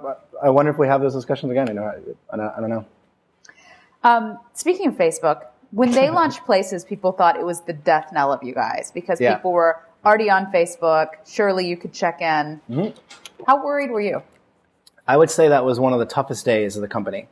Um, when when you know uh, we Facebook we were talking a lot with them in 2010, and then um, and then they announced they're going to launch something in September, and I think it was around the time of the announcement, and it was a TechCrunch story, and everyone in the office was like reading the story, and people were kind of second guessing, oh my God, should we, should we have sold? What what what, what happened? And, and um, I remember I had to, I had to get up in front of everyone, in front in front of like Curbed and everyone because we all shared office space together, and I was like, Foursquare, stop reading TechCrunch. Like the only, like seriously, don't.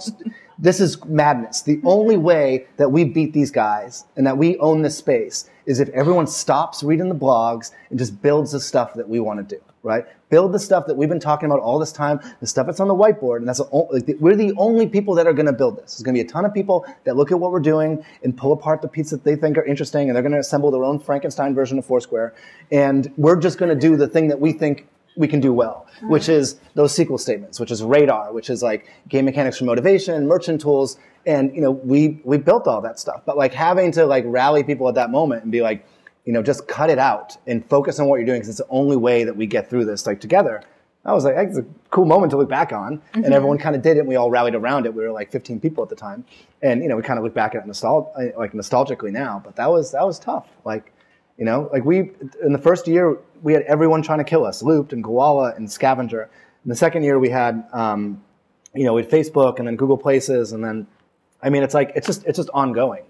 And you know, one of the things that's worked well for us is like, you know, you can, um, and I've had to, I've had to learn this because I, I've definitely gotten distracted by what other companies are doing. You're looking at the shiny toys that they make, and I'm like, oh my god, look at that thing, it's so cool.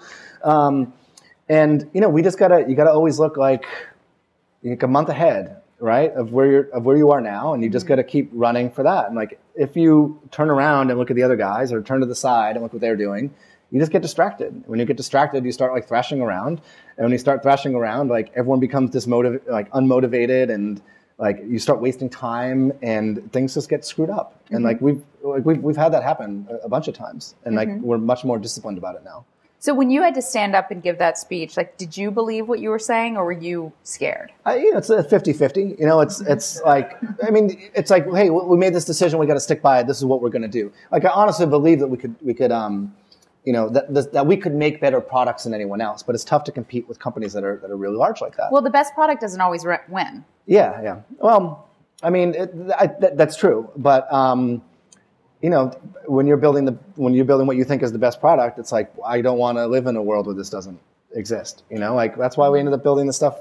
You know, taking some of the the dodgeball ideas and rebuilding them. It's like I, I didn't want to do that. I was thinking like, oh, I'll just use these other things that are out there, and these these other guys have figured it out.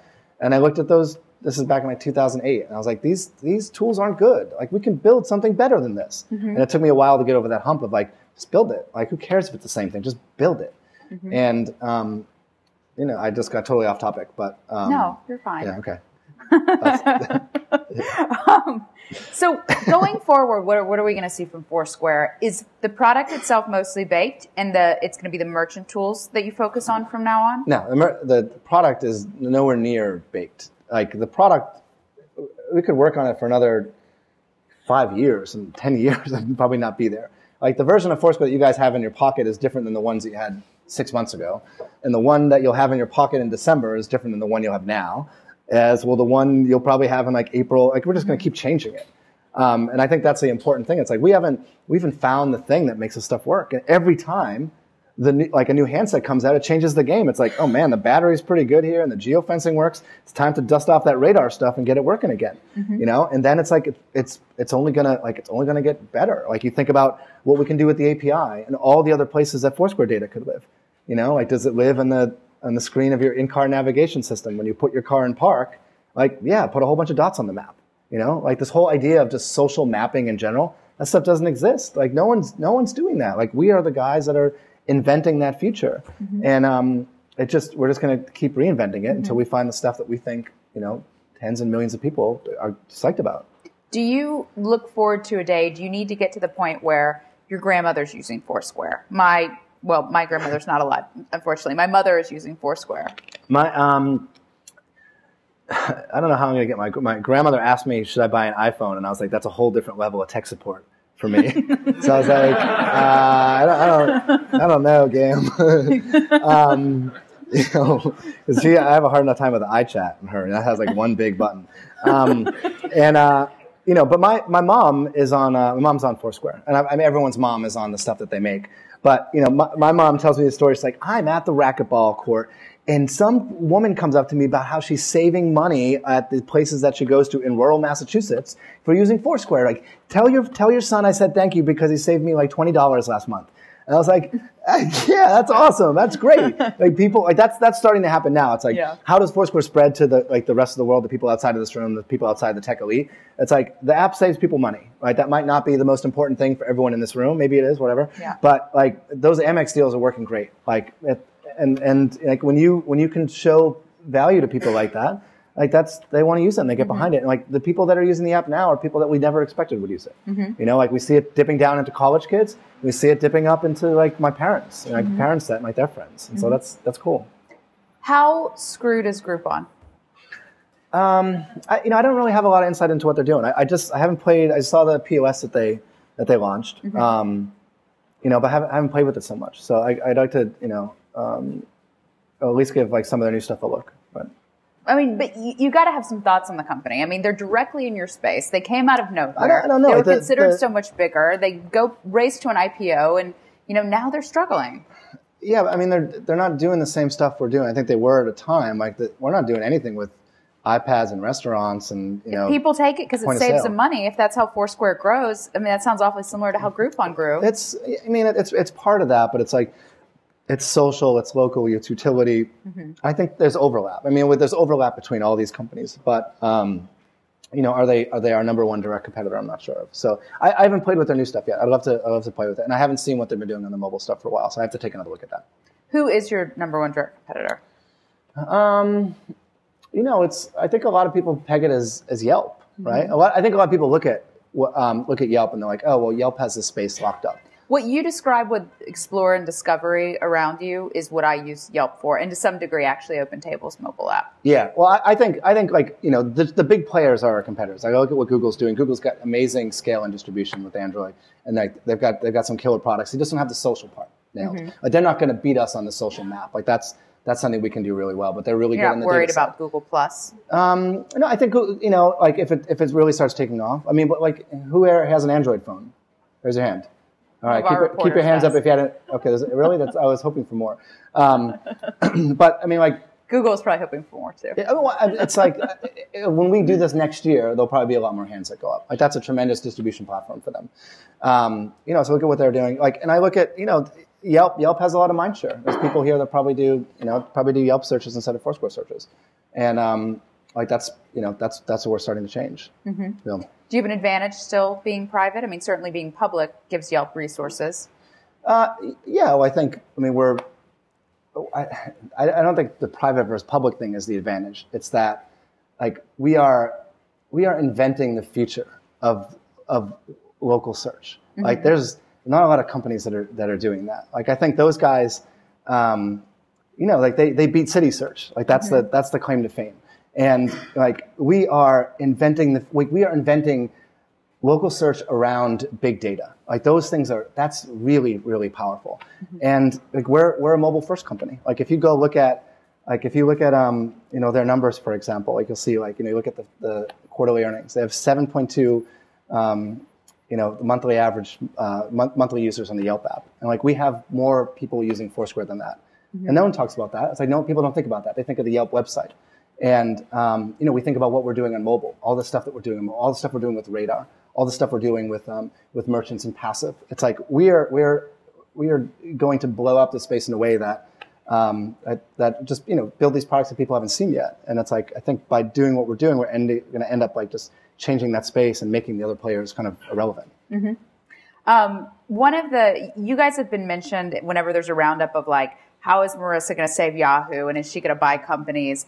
You guys get thrown in there. Do you see any scenario where you and you sell to Yahoo in the near future? Um, I, I mean, I don't know enough about what their strategy is. Right? So if they had a good strategy, you'd sell. No, it's like I mean, we. It's more. Um, it's probably more reasonable that like we will like we we would work together in the same way that like, hey, I'd love to be working with Google. Uh, you know, we, we do we're pretty close with the Facebook guys when we work with them on a lot of the Open Graph stuff. Um, and you know, maybe maybe there's a chance for us to end up working with, with some of the Yahoo guys. But I mean, I, I don't know what their strategy around mobile is, and like you know, or local. So we'll keep. No one's calling you. No, I mean, we, we talk to all these folks, right? But like, it's like it's it's not like there's like. Uh, you know, like these secret discussions going on. So it's like this is the other thing, right? Everyone, um, everyone talks to everyone else, and everyone uh-huh. gets so freaked out, like, oh, I saw you talking to someone from Facebook in the coffee shop, and I'm like, yeah, everyone talks to everyone else. Like, I talk to the Twitter guys and the Facebook guys, and sometimes the Groupon guys, and sometimes the Yahoo guys and the Square guys, and it's just that's this is how we, we all like this is how stuff gets done. So mm-hmm. I don't know. um, all right, uh, I want to ask you uh, one more one more thing, and then we'll go to questions from the audience. If you have a question, where are we? What are we doing? Passing around a mic? Okay, so we have a question.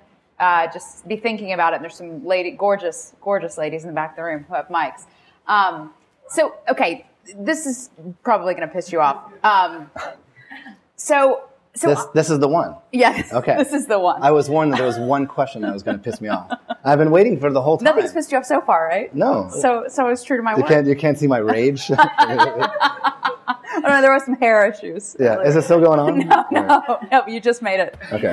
Well, right, uh, that is going to drive Kim crazy. Um, okay, so I want to ask you broadly about um, about li- liquidation of shares and cashing out and secondary markets yeah. and how you guys have viewed that. And the particular story that I heard about Foursquare was yeah. that there was a guy who was, you know, a fairly senior level guy who wasn't working out very well, who you guys got rid of. And about the same time, there was a kind of stupid rich man in New York who really wanted to get some shares of a hot up and coming internet company, knew nothing about the space, found out something about Foursquare, somehow got hooked up with this guy who had just been fired from Foursquare. I believe it was around the time you were doing your Series C. Yeah. And basically said, well, what was the valuation of the Series C? And someone told him, and he said, so how about if I pay you three times that? Like he had no idea how this worked, bought out this guy's shares. News trickled back to Foursquare. There wasn't a lot of allowance for liquidity among the employees, and the employees were furious because this douchebag who had been fired just got cashed out triple times while the guys still working at the company weren't. Okay, so what's the what's so the, the question? question is first of all is is any of that true? Well, I mean, like it, it's this is much less exciting because I, I, can't comment on that stuff, you know. So I can just say like I, I can't comment on that story and I can't tell you anything about that. All right, so let's assume that part of it is true because yeah. I, mean, I, know for a fact it is. yeah, it's it's um. There's yeah, probably I mean, embellishment around the edge but I'm, you know, I'm not allowed to talk about stuff like that. So. All right. So let's, let's talk generally about your view of how entrepreneurs should navigate this. Cause I do think it's a serious question. Yeah. Facebook was way too open with this and it caused a lot of problems for the company. Yeah. Twitter's been criticized for Dick, you know, basically saying you don't have a right to cash out your shares before we go public. Yeah. How do you guys view it? How do we what? How do you view it? Well, I mean, it can, you know, without going into the way that, that we do this specifically, like that can, that can screw up uh, companies, right? So, if you've got people that are that are selling, um, you know, that are selling their shares on, on secondary markets, like you guys know that there's like the 500 shareholder rule, which I think is getting is it changed or is getting changed? It's getting changed. Yeah, so that that's that's one way that stuff happens, and then it also just like it creates this weird culture of you know some people are selling because they're not into it or they got a good price, and some people you know may have gotten rich and they become demotivated. I mean, like there's you know fortunately we have not had to deal with issues like this, um, which which is good because I think like we've been able to watch how other companies have handled this. This is one of the advantages of not going second, but going like fifth of a lot of big companies that have done stuff like this. And we can see what's worked well for, for some companies and what hasn't worked. And we've been able to put, um, uh, you know, a specific plan and structure around um, that makes sure that like none of the bad stuff that can come out of secondary offerings actually like would, would affect our company. Mm-hmm. And so, um, you know, I think it's, I think the interesting question is for people that are starting now, starting companies now, like, do they put a clause into the employment agreement for employee number one that's like you cannot sell your shares on secondary markets? And I, I don't know what the like what the trendy answer for that is right now. What would um, you do if you were doing this for the third time? I, I, well, I don't know. It's tough because like at some point, like you, you, you know, it's fair.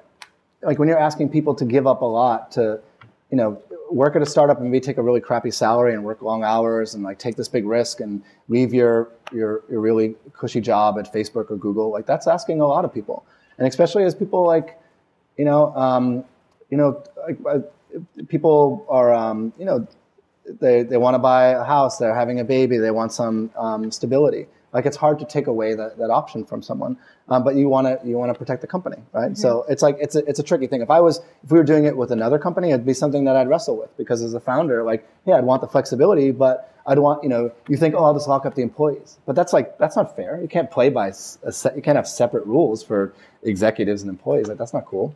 Mm-hmm. Um, so it, that's a that's a tricky thing, you know. Um, mm-hmm. If any of you guys are wrestling with that, like it's definitely worth um, you know, reaching out to some folks in the law community, um, you know, to see to see where uh, like where people stand on it. So. Mm-hmm. Okay, great. Let's go to some questions from the audience. Anyone? There's a guy up here, Ani. There's okay. Go. No, I'm not saying you have to go to this guy. You yeah,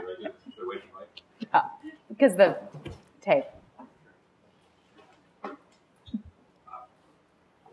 mentioned that you are um, behind your uh, obsession with Foursquare and everything you're doing with Foursquare was a maybe a larger or higher level uh, passion for so- software for cities. Yeah. Um, obviously, you're, you're, you said also that you're you're not nearly done with Foursquare. There's a lot you're going to do with Foursquare. Do you see? Are there other things that fit in that bus, in that bucket? Sort of software to improve software life in cities uh, that you're not going to do with Foursquare. Where are the big opportunities for, for software in cities that you're oh. not doing? Mm-hmm. Um, well, I mean, I think Uber is nailing one. Like, I would never have saw the Uber opportunity, but like that's Uber's awesome. Like, that's a that's pretty amazing. Um, you know, people have been playing around with the strangers meeting strangers space for a while. Like, how do I, you know, if I'm a single guy, how do I go meet the appropriate single girl who is like in this room or in this neighborhood? Like, I think that that stuff is kind of interesting. Um, the whole market of um, of you know I have a I have a skill that you need or you have a skill that I need. And how do you connect those people mm-hmm. in neighborhoods? Like that's that's coming along. Uh, local the dissemination of local news um, uh, in neighborhoods right? Like microblogging around communities. I think that stuff's really interesting. And I you know New York is a great place for a lot of this stuff to start. And you actually see a lot of that stuff happening here because um, it's just like a really challenging environment to uh, to build for. And it's a really like there's just a lot of opportunities to build that stuff. Do you angel invest at all? Do you angel invest in any of those kind of yeah, things? I've made a bunch of a bunch of angel investments. Um, nothing really in that in that space. Um, it's mostly a lot of the angel investments have been in in, um, in friends of mine that I know who I think are brilliant that are that are doing their own things. Mm-hmm. Okay, great. Okay. So you mentioned briefly about your API, and I was wondering what's happened recently with Twitter and how they grew a lot by keeping their API open and then kind of reined it back in a little bit, what your thoughts are. I know right now there's a lot of cool things connecting to Foursquare. Do you see that only growing, or what are your thoughts moving forward? Yeah, um, you know, I, it, it's one of those things like I think when you're on the outside and you look at you look at them like, oh gosh, how can they make these decisions? But you know, if like I, I don't know what what goes on in the strategy meetings there, but you know, you can kind of empathize with like, oh, that they're they're probably it really pains them to make those decision, decisions, and they have to do it to you know to protect their core business. Um, you know, we, we haven't really had to face a lot of those issues with uh, with Foursquare. I think um, you know for, we we saw people misusing our API and misusing like the "Who's Here" feature of it, and so we made some changes to our API. Um, you know, so that like to restrict it a little bit, and so we had to make the decision: Hey, is our app allowed to play by different rules than other people's apps, and we decided that was not a good policy for the APIs. So like we play by the same rules as everyone else in the in the ecosystem. Uh, and so that's been that's probably been our biggest our biggest API challenge. But um, I, I, don't know what the future holds. I, you know, if you ask me again in a year, I bet there's there's other other things that like we're we're struggling with. But it hasn't been a huge thing for us so far. Yes. Hi. Uh, you, you, mentioned the point where you rallied with 15 members on on your team a while back when you know, Facebook was starting its products, and Google was starting its products. My question is, you know, after you rallied that team successfully and you grew that team from 15 people to 150 people, how did you find the right people to grow from there? From 15 to 150? It's um I don't know, it's it's tricky. It's like you gotta it's it's by having good, strong people um, in those leadership positions that we're responsible for hiring. You know where we got a lot of benefit is um, you know, uh, Harry was a, you know, I was ex Googler and Harry was an ex Googler, as was Alex. And does anyone here work at Google? Like Google, no? Google teaches you, like, Google teaches you how to work at a big company. Like how, like, we picked up a lot of processes, a lot of like management tricks. Like it teaches you how to interview, um, teaches you how to evaluate the people that you interview as a group afterwards. Like that, that's, that's stuff you don't, I don't think you learn that in business school. Like you just learn that by working at Google. And we, you know, by being ex-Googlers, we hired a lot of the, those are the people that we knew. Like we, we, used, we joke around about like, we hired our lunch table and it took us about eight months to get everyone. But one at a time, we recruited each of those, each of those folks away and like they all work at Foursquare. And so they're like, yeah, we know how to interview people. We know what the interview process looks like. They just, they know what A players look like. And A players want to work with A players. And like, it just happens that we have a lot of A players at, at Foursquare. And so I think that, you know, this is kind of like, maybe, maybe, maybe obvious, but it's um, you know good, good people want to work with good people. And like once you once we started building that we had a it's like a magnet effect where people hear about oh foursquare's engineering group? Like they are rock stars. I want to go work with them. And like i, I didn't believe that to be true. I was like oh, people don't think like that but that's how engineers think. And that, that it, it's been working well for us in new york. It's been working well for us in san francisco. Were there any tips on how to interview that you can share? Um, it's you know, not not so much for engineers. Like for, for me personally, like when, when we interview people, it's usually an all day thing, you know, and like it's not uncommon for people to go through six or eight different interviews with six or eight different people. I like to sit down with people and ask them about all the other products in the industry and to see like how they see our strategy weaving out of what other in, what, what other people could do. Because I like to see how they can think about like you know our space, what are our weaknesses, what are our strengths, like what, what could Facebook fumble on? What could Google crush us on that we're not seeing? Like I, that, that's what's important to me because I like having those types of conversations with people. And I think those, you know, people that can, can talk about that stuff can make really good product decisions on their own. Um, just one more thing, yeah, real sure. quick. Uh, we're hiring all the time, right? we are hiring in New York for everything. We are hiring in San Francisco for everything. So foursquare.com slash jobs. Thank you. How big will you be this time next year? Uh, has any, any of you guys been to our office? No, yeah, okay. Oh, awesome. So we have a, we took two floors in the New York office. In the upstairs, we just we built some walls and we subletted it to startups. And um, you know, we took two floors because we know we're going to need those floors, and it's starting to get a little tight at Foursquare. So I don't know what the number is going to be. We have about um, maybe 120 people in New York, and I think we can fit 140 on on that first floor before we have to start moving upstairs. Um, so that like I, Uh, you know, I don't know what the number is, but significantly larger. And it depends on how quickly you can hire, which is why all you guys should go to foursquare.com slash jobs. One of the best websites on the internet. well, if any, and if any of you don't want to work at Foursquare, but you're an amazing reporter, then you should email me because we need those. All right. Is it all? Okay. So I have three questions for you, very direct questions. Let's do this. Uh, lightning round. yeah. Lightning round, yes. Uh, the question, the first question is, do you see Foursquare making any acquisitions over the next maybe year, couple of years? That's number one. Yeah. Number two is, in terms of your focus, where is it going to lie? Is it going to fall on the monetization side of Foursquare, or is it still going to be on the product side? And then the third question is, uh, how are merchants signing up for Foursquare, right? Uh, how, how are they using, uh, how are they coming online, right? Uh, how are they onboarding? Yeah. Like so how are you onboarding yeah. merchants, right? Okay. Uh, question number one was uh, Acquisitions. Oh, acquisitions. Yeah, like that's the way that um, companies of our size continue to grow very quickly. Is instead of acquire, you know, instead of acquiring one person at a time, you can acquire teams. We haven't done that yet. Like we've had conversations um, with people about it. It would probably it would be acquihires because like we just we want to build the team very quickly, um, and we haven't been able to find um, a team where, where it makes sense yet. So the, the answer um, the answer is yeah, I do see us doing that. We just haven't done it yet. Question number two was um, you spend your time on Pro- product. You're or- good at this, yeah. Uh, not my time. It's Foursquare's time, right? Okay. Yeah. I- you know, I think one of the things that we did really well, kind of accidentally, is in two, when we like in 2009 when the whole like Marsh Cafe and the flyers and the monetization plan came out, like we're like, hey, that should be part of our product. And we would, you know, we build two things for users and one thing for merchants, and two things for users and one thing for merchants. And you know, product the monetization tools, and I feel weird even calling that, like the merchant tools have always been a core part of the product because this is a Ben, ben Horowitz quote. Um, he was like, thing I love most about your company is that the thing that's going to make you money is the thing that the users love. Like they love the specials, the special treatment, saving money, like getting deals. Like that's what they, they love that about that, and that's going to work out for you guys. And so we see it as part of the, the, the core user experience. And so we continue to build that stuff at the same time. You know, it's probably twice as many people, maybe a little bit more than that, that work on um, consumer-facing product that um, than work at merchant-facing product. But like we build them in parallel because we see them as not two separate tracks. It's not like, okay, let's just bolt on the ad tools at the end of the day. It's like, no, these two things are intertwined and they've been intertwined since, you know, since fall of 2009 and they'll be like that forever.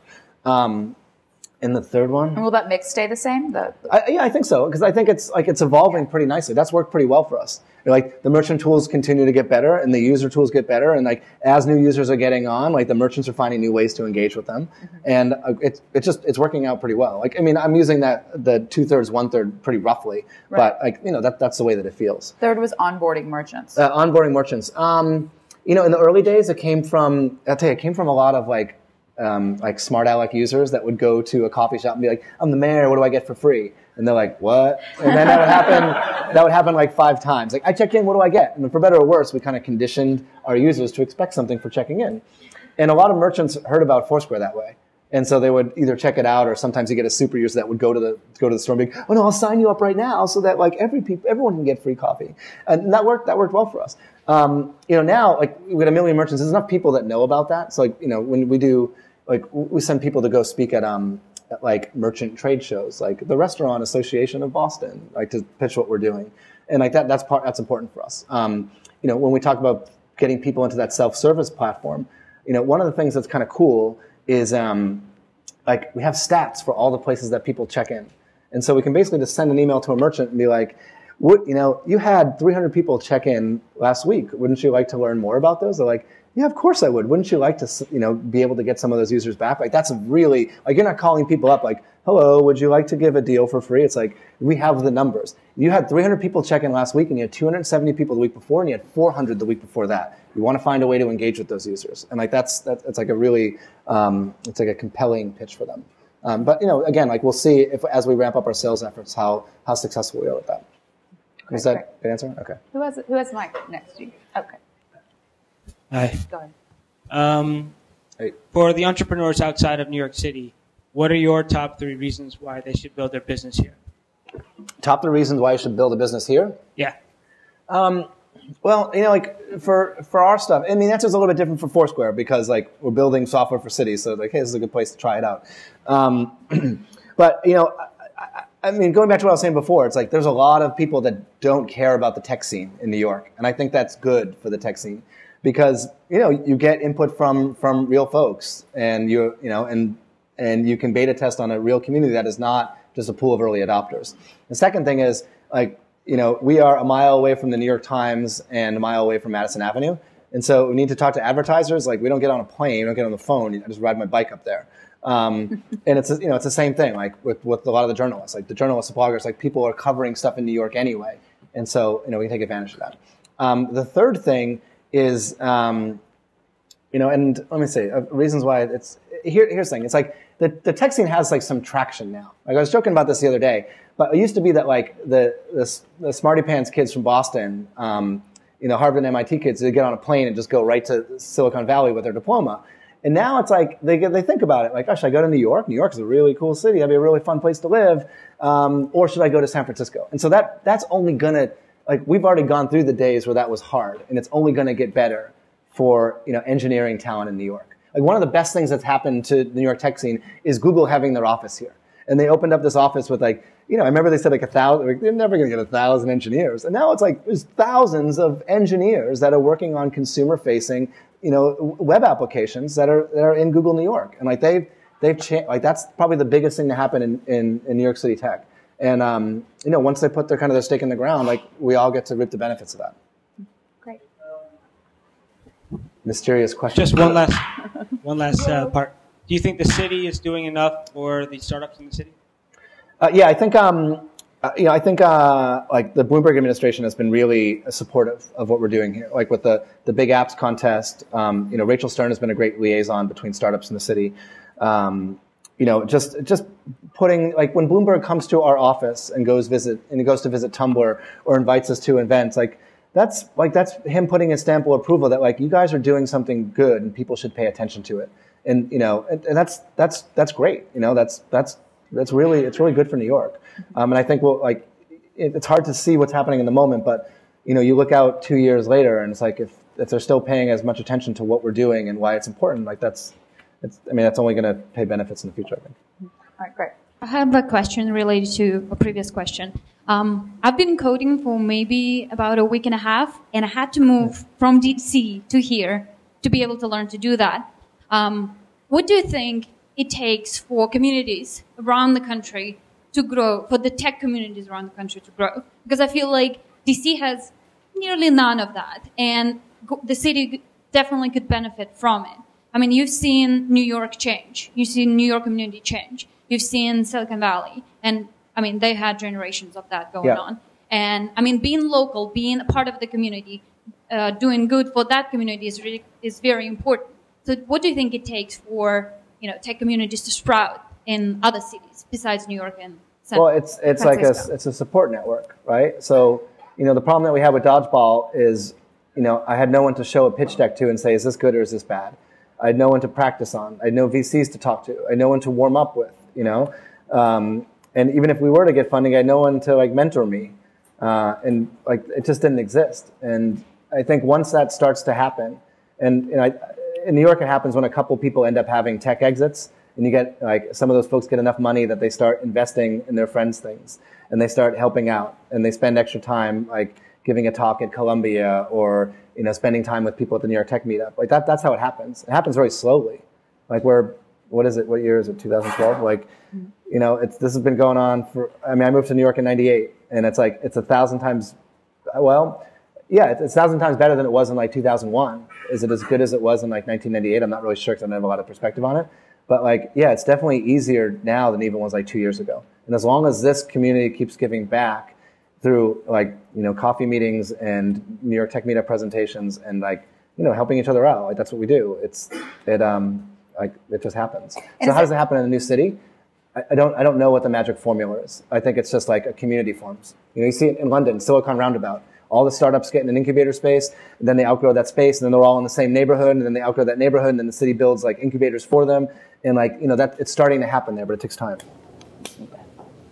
So, so uh, in addition to loving Foursquare, I, uh, I love Seamless. And I have these moments where I find a place on Foursquare and I think, you know, shit, I wish I could push that button and Seamless this thing. Yeah. So uh, there's obviously some natural parallels. What are, what are thoughts about direct commerce? What types of conversations do you have around that? Is that something that's out of the question? Um, Yeah, I mean, we just did something with Open Table, right? Because Yeah. like we're driving people to places, and some of those places is a wait. You need a reservation. We should we should do that. You know, um, I think the seamless stuff is probably on a whiteboard somewhere. Like I don't know if it's like a core fit to the product, but like one of the things that we've done on the API is we have this thing called connected apps, and connected apps allows people to build little apps that live inside of Foursquare. So if you wanted to build the seamless web app, it's like when you go and look at a, a venue page or when you check into a place and you would want to order from Seamless Web, you, you would you, know, you would be able to put that button in our app that would then be able to drive you or drive anyone that installed that app to then take advantage of that stuff. And so that's the way I think of that. You know, it's like hey, peop- the people have the ideas that are a lot better than some of the ideas that we have or a lot different than the ideas that we have, and we want them to be able to build that stuff in there. So I don't think it's something that we would do, but if someone wanted to build it, I'd be psyched. Uh, you use force. Um, you use uh, restaurants and cafes a lot in terms of examples of uh, places that are great for recommendations within within Foursquare, um, within the app itself. Being that you know Google somewhat recently bought uh, Zagat, uh, which is you know an excellent resource for restaurants and cafes across uh, the world. Does that concern you at all any more than when Facebook entered the check-in space, uh, especially with Google Plus and them moving towards mobile and how the poten- how they could potentially tie that in with uh, Zag with their Zagat acquisition? Yeah, it, it turns into a question of um, you hear the Hare Krishnas outside. Oh, is that what that I think so. Yeah, or maybe not. I don't know. Um, uh, yeah, it turns into a question of like which data is more interesting. You know, like Zagat is really, really good data. Like it's it's it's, it's, it's really interesting data points there. But you know, like the thing that we're doing that no one else is really doing is like we have that we have the check-in data, and you know, people have. It's funny it's funny the number of people that poo-poo the check-in data, but you know, it's like which people go to which places repeatedly. You know, which people which people go to which places in like on a Tuesday morning versus a Thursday afternoon when it's abnormally warm out, when it's like you know unseasonably cold out. Like we can, you know, which which people check in um, together at multiple places, or how do you string check-ins together? Like I was here, then here, then here, then here, or after I went to this place, I never went to this place again, or after this place, I will started going to this place regularly. Like we've got three million, three million, we almost have three billion dots, and we got to find all the different ways to connect those dots. And I think that data is better than the data that anyone else has. And so, like, yeah, it's cool to look at their, you know, they've got short form reviews for thing, and they've got the rating data, but like, you know, man, we, I think we can do stuff that no one else can do, which is why I always say like we're reinventing what local search is going to look like. You know, like that. I mean, I think the biggest point here is like we all open up those apps, like, and we all search for you know sushi or tacos or you know beer right now. We all get the same results. Like that is broken. It's very clearly broken. You know, the Foursquare approach is everyone gets different results based upon the things that they've done in the past, all the inputs, what your friends have done. That is very clearly going to be the way that this works. And like that's the thing that we are knee deep in solving. Right. Yes. Uh, hi, thank you for coming. Uh, you mentioned the, Thank you for having me. But technically, I traveled farther. Sorry. Well, thank you for coming as well, being a great moderator. Um, you talked about the ups and downs, even in the day-to-day basis, is still the point that you're at. How do you, as an entrepreneur, uh, stay like focused and like keep going? Is there something you tell yourself? Is there like a trick you have that you could share, maybe?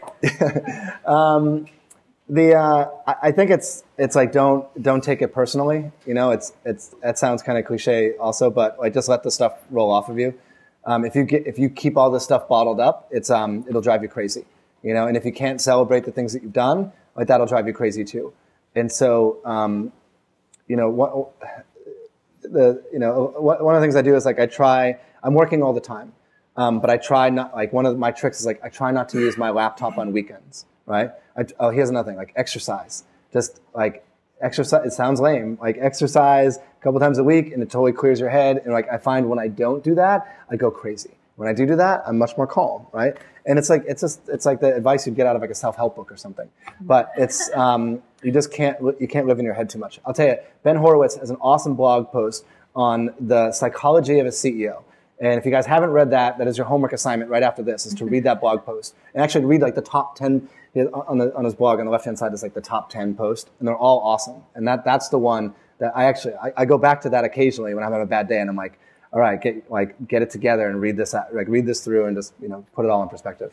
I t- the speaking of Ben's blog post, the, one of the best compliments I've gotten since building this company is um, Ben's daughter was an intern for us over the summer, and Yeah. so you know, a couple weeks in, Ben was sort of like you know over breakfast, like kind of pumping her for information on you know how things really were going for us. And um, you know, this is sort of early summer, so we're still kind of finding our sea legs. And he was like, so, so what is, what is it like working for Sarah? Like, what's really going on there? Cause, cause comes out of my house. She's coming to my house every day with like the Yeah. baby Yeah, and yeah. I'm hiring and firing and breaking stories and it's insane.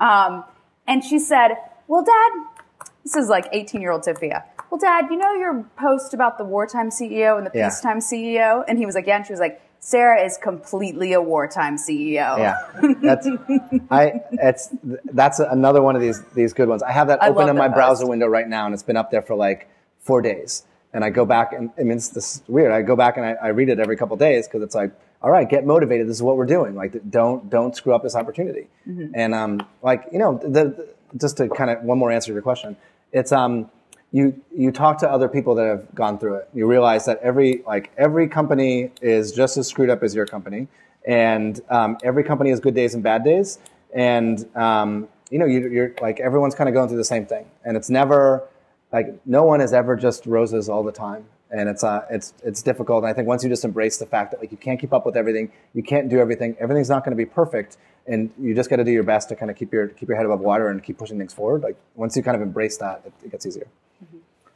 All right. All right. She told me to stand up, so I'm going to stand up. so it's just a random question. Uh, it's always awesome to see entrepreneurs do what they want to do and they're so passionate about. What would you be doing today if you weren't working on Foursquare? And Like what tech startup would I be doing, or I mean, any other ideas or stuff you're passionate about? Like Jack Dorsey always wants to be the mayor of New York City. so what would you want to do? Oh, I'd probably be a snowboard instructor. Like that was that was my job before dodgeball, and so I would uh, I I enjoy doing that.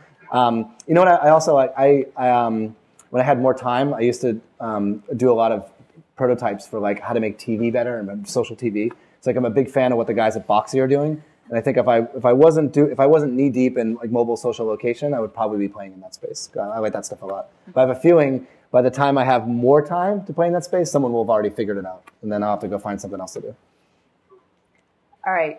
Are there any other microphones out? Okay, this guy has a question. Let's make this the last question. I think it's take a team effort to get you the microphone.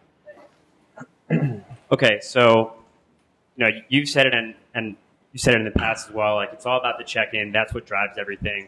But like, are all check-ins created equal? Is there some sense of like emotional sentiment that is more present when you check into places like a bar with friends as opposed to like I check into the grocery store? Yeah, like yeah. Me, I never check into the grocery store anymore because I don't want that to affect my recommendations because I don't want you to tell me like, hey, there's a sweet grocery store nearby. So, so like, how do you know when We discount that stuff, by the way. So you should. You, it's funny. That's a good point. Like you, you are expressing a concern that I haven't heard yet. And as soon as it's over, I'm going to write this down in my little notebook. welcome. So I remember. Thank you. It's a good thing we Um, did one more question. Yeah, I know. This guy is like saving the sa- uh, uh, Oh my God! It's the whole thing's on fire. Um, no, but that's we've we've been debating this, right? And so we're debating it as like, okay, well, should the check-in be super fast, or should the check-in, you know, be a little bit slower and ask you for a photo and ask you for a shout?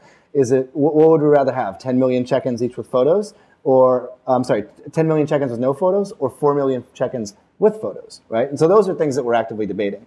Um, and it's tough because then, then you kind of to, then you're telling people how you want them to use Foursquare. And that's where it gets, that's where it gets tricky because you want people just to be able to use it any way they want. They want to check in every gas station or train station because they want the points and the badges and the membership. Like they should be able to do that. We shouldn't make it hard. But at the same time, you know, you, you don't want all those check-ins to clog up the stream so that it gets really annoying for folks. So I don't have a really good answer for your question. And I think, um, because it's one of the things that we, we debate internally, and it's one of the things that we're trying to figure out. Like, do you know, as the as the creators of this product, should we step in and kind of curate the way that we want people to create content? Uh, in the past, we've erred on the side of like, no, the content should be really rich and meaningful. Um, but you know, as you see more people checking into supermarkets and other places, it's like, you know, does it does it change the way that people consume content? Does it change the way that people create content? And so it's it's always an active discussion at the company. And um, I don't have a, a, great answer for you, but I think it's an interesting point that you're able to pick up on it, and it is one of the things we think about a lot.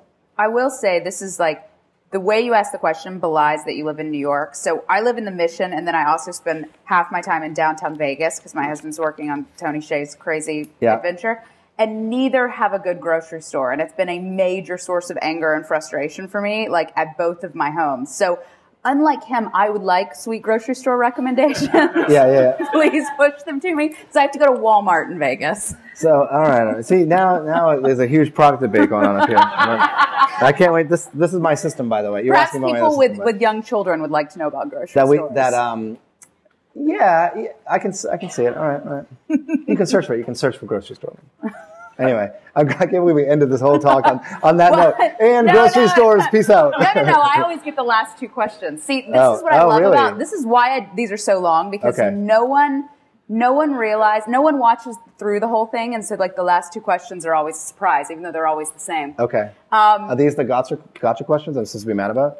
No, that no, that was the one We about the guy who. Oh, uh, yeah, yeah, okay. sold all his shares that you punted on, which is absolutely true. Um, so, okay, so before I get to these two questions, um, first of all, I want to thank Projective hugely for doing this. This is our first time doing it here. We have really struggled to find um, a venue that you know we could consider home in New York, and you know this event is incredibly expensive for us. It's probably the most expensive thing we do as a startup because in San Francisco, 500 people come and people gift us stuff, and we don't have to travel. Yeah. In LA, you know, we only do them quarterly, and you know, 400 people come. You know, in New York, we keep it smaller, and you know, we all have to fly out here, and it's more expensive because it's New York. So like, we probably lose more money on this event than anything we do. And so Projective like stepped up and gifted us this space, which was incredibly generous. So big hand of applause for Projective. Um, and you know, the point is we want to be able to keep doing it and keep the ticket prices low. So it helps you guys too. Um, all right. So next guests we have coming up in New York, we have another three city month. Uh, sorry, in, in November we have another three city month. Um, on um, next week we have Kevin Systrom in um, in San Francisco, and then November first we have Chris Sacca in LA, and then November eighth, if that's a Thursday, whatever the following Thursday is, we have Daniel Ek of Spotify here in New Oh. York um, which is going to be very exciting. I expect that one will might break your record. Sell it even quicker. We'll see. Daniel's a handsome guy. It's on. It'll be Bieber hair versus bald. and then the week after that, we've got Naval Ravikant in San Francisco of AngelList. So we've got a really awesome November. We're working on the lineup for next year in New York. We're going to do nine in New York next year. So we're working on the lineup now. So um, please tell your friends, continue to buy tickets. Um, we, lo- I love being able to get here every month and, and have fun in this ecosystem, particularly since there's also media companies in this ecosystem and there's none in the Valley. Yeah. Um, okay, housekeeping being done. Um, what is the one thing you believe that almost no one else believes to be true? What is the one? God, you should give these questions to people before. They're Um, on each video. Oh, they are. Yeah. well, I, my my YouTube's broken. Uh, the the one thing that I believe to be true that um, that no one else Not, that can't be no one, but like, is not necessarily conventional thinking. is it. I mean, is it too cliche to say like the belief and the vision of the company that we're like? I don't know if that's like a cop out answer, but that's the thing. It's like since we started this thing, people have been telling us that this is not going to work, and like it, you know, and I, when we started building dodgeball in like 2000, that's not, that's a stupid idea. It's never going to work. And when we brought it to NYU, that's a stupid idea. It's never going to work. And at Google, we were like, okay, this is not going to work here. And at um, when we started again, you already tried that, didn't work. And like it's just that, that has been the story of my entire career. The thing that I care most about is not going to work. It's a stupid idea. And like I don't know, it's it's going okay so far. And um, you know that, that I think that's been the thing. Like it's a it's a really and I'd say I, I'd love to. Um, I should ask this of other of other folks, but you know, like I, I bet you, you know, Zuck went through the same thing, and Jack with Twitter. Like it's that it's that part where it's like, oh, you're working on this thing, it's just not interesting. You know, like what is that going to turn into? Um, and you got to see it in a way that other people don't don't see it, and you just have to be that guy that's like, I don't care what you say, I'm just going to keep doing it. And now it's like there's more people that get what we're doing, but there's plenty of people that don't. And I'm sure there's a bunch of people in here that still don't believe it. And you know, like I, I find that's like my personal goal is to convince you guys that we can do this better than anyone else, and we can do it in a way that, that that's different, that we invented. And it starts with the check-in stuff that everyone thought was was silly and stupid. Um, and so that that's that's the thing. That's my, that's my answer for that. That's a good answer. Okay. No, mine is that I think you could build a blog at, at not based on page views. So I Oh, mean, there I you go. think Okay. frequently people's thing is hopefully what they're doing. Yeah. That's, I mean, that's, you gotta, it helps to be really passionate about the thing that you're doing. Otherwise, that's the only way to keep yourself sane about this stuff, you know? Right, right. On the um, days when you want to shoot yourself. Yeah. Uh, Every other day. Yeah. um, okay, last question. If you could have one mediocre superpower in the world, what would it be? One mediocre superpower. Would you like some examples of mediocre Yeah, superpowers? yeah, Okay. Well, the poor people who come every time have now heard this example 45 times. The best answer we've ever had to this question is one guy wanted to be able to temporarily detach his arm while spooning with a girl. All right. That's, Um, I, I think who was that? it was not a Pando monthly guest. It was some, it was someone on the panel list. Some other, like, I need porn to conference actually you were at or remember something? like, Yeah. who it was at some point. Um, but uh, I actually Jonah Peretti gave one of my favorite ones. Yeah. Um, and and he was he like you did not watch the video, so was not prepared, and I couldn't believe he came up with this on the fly because it's so brilliant.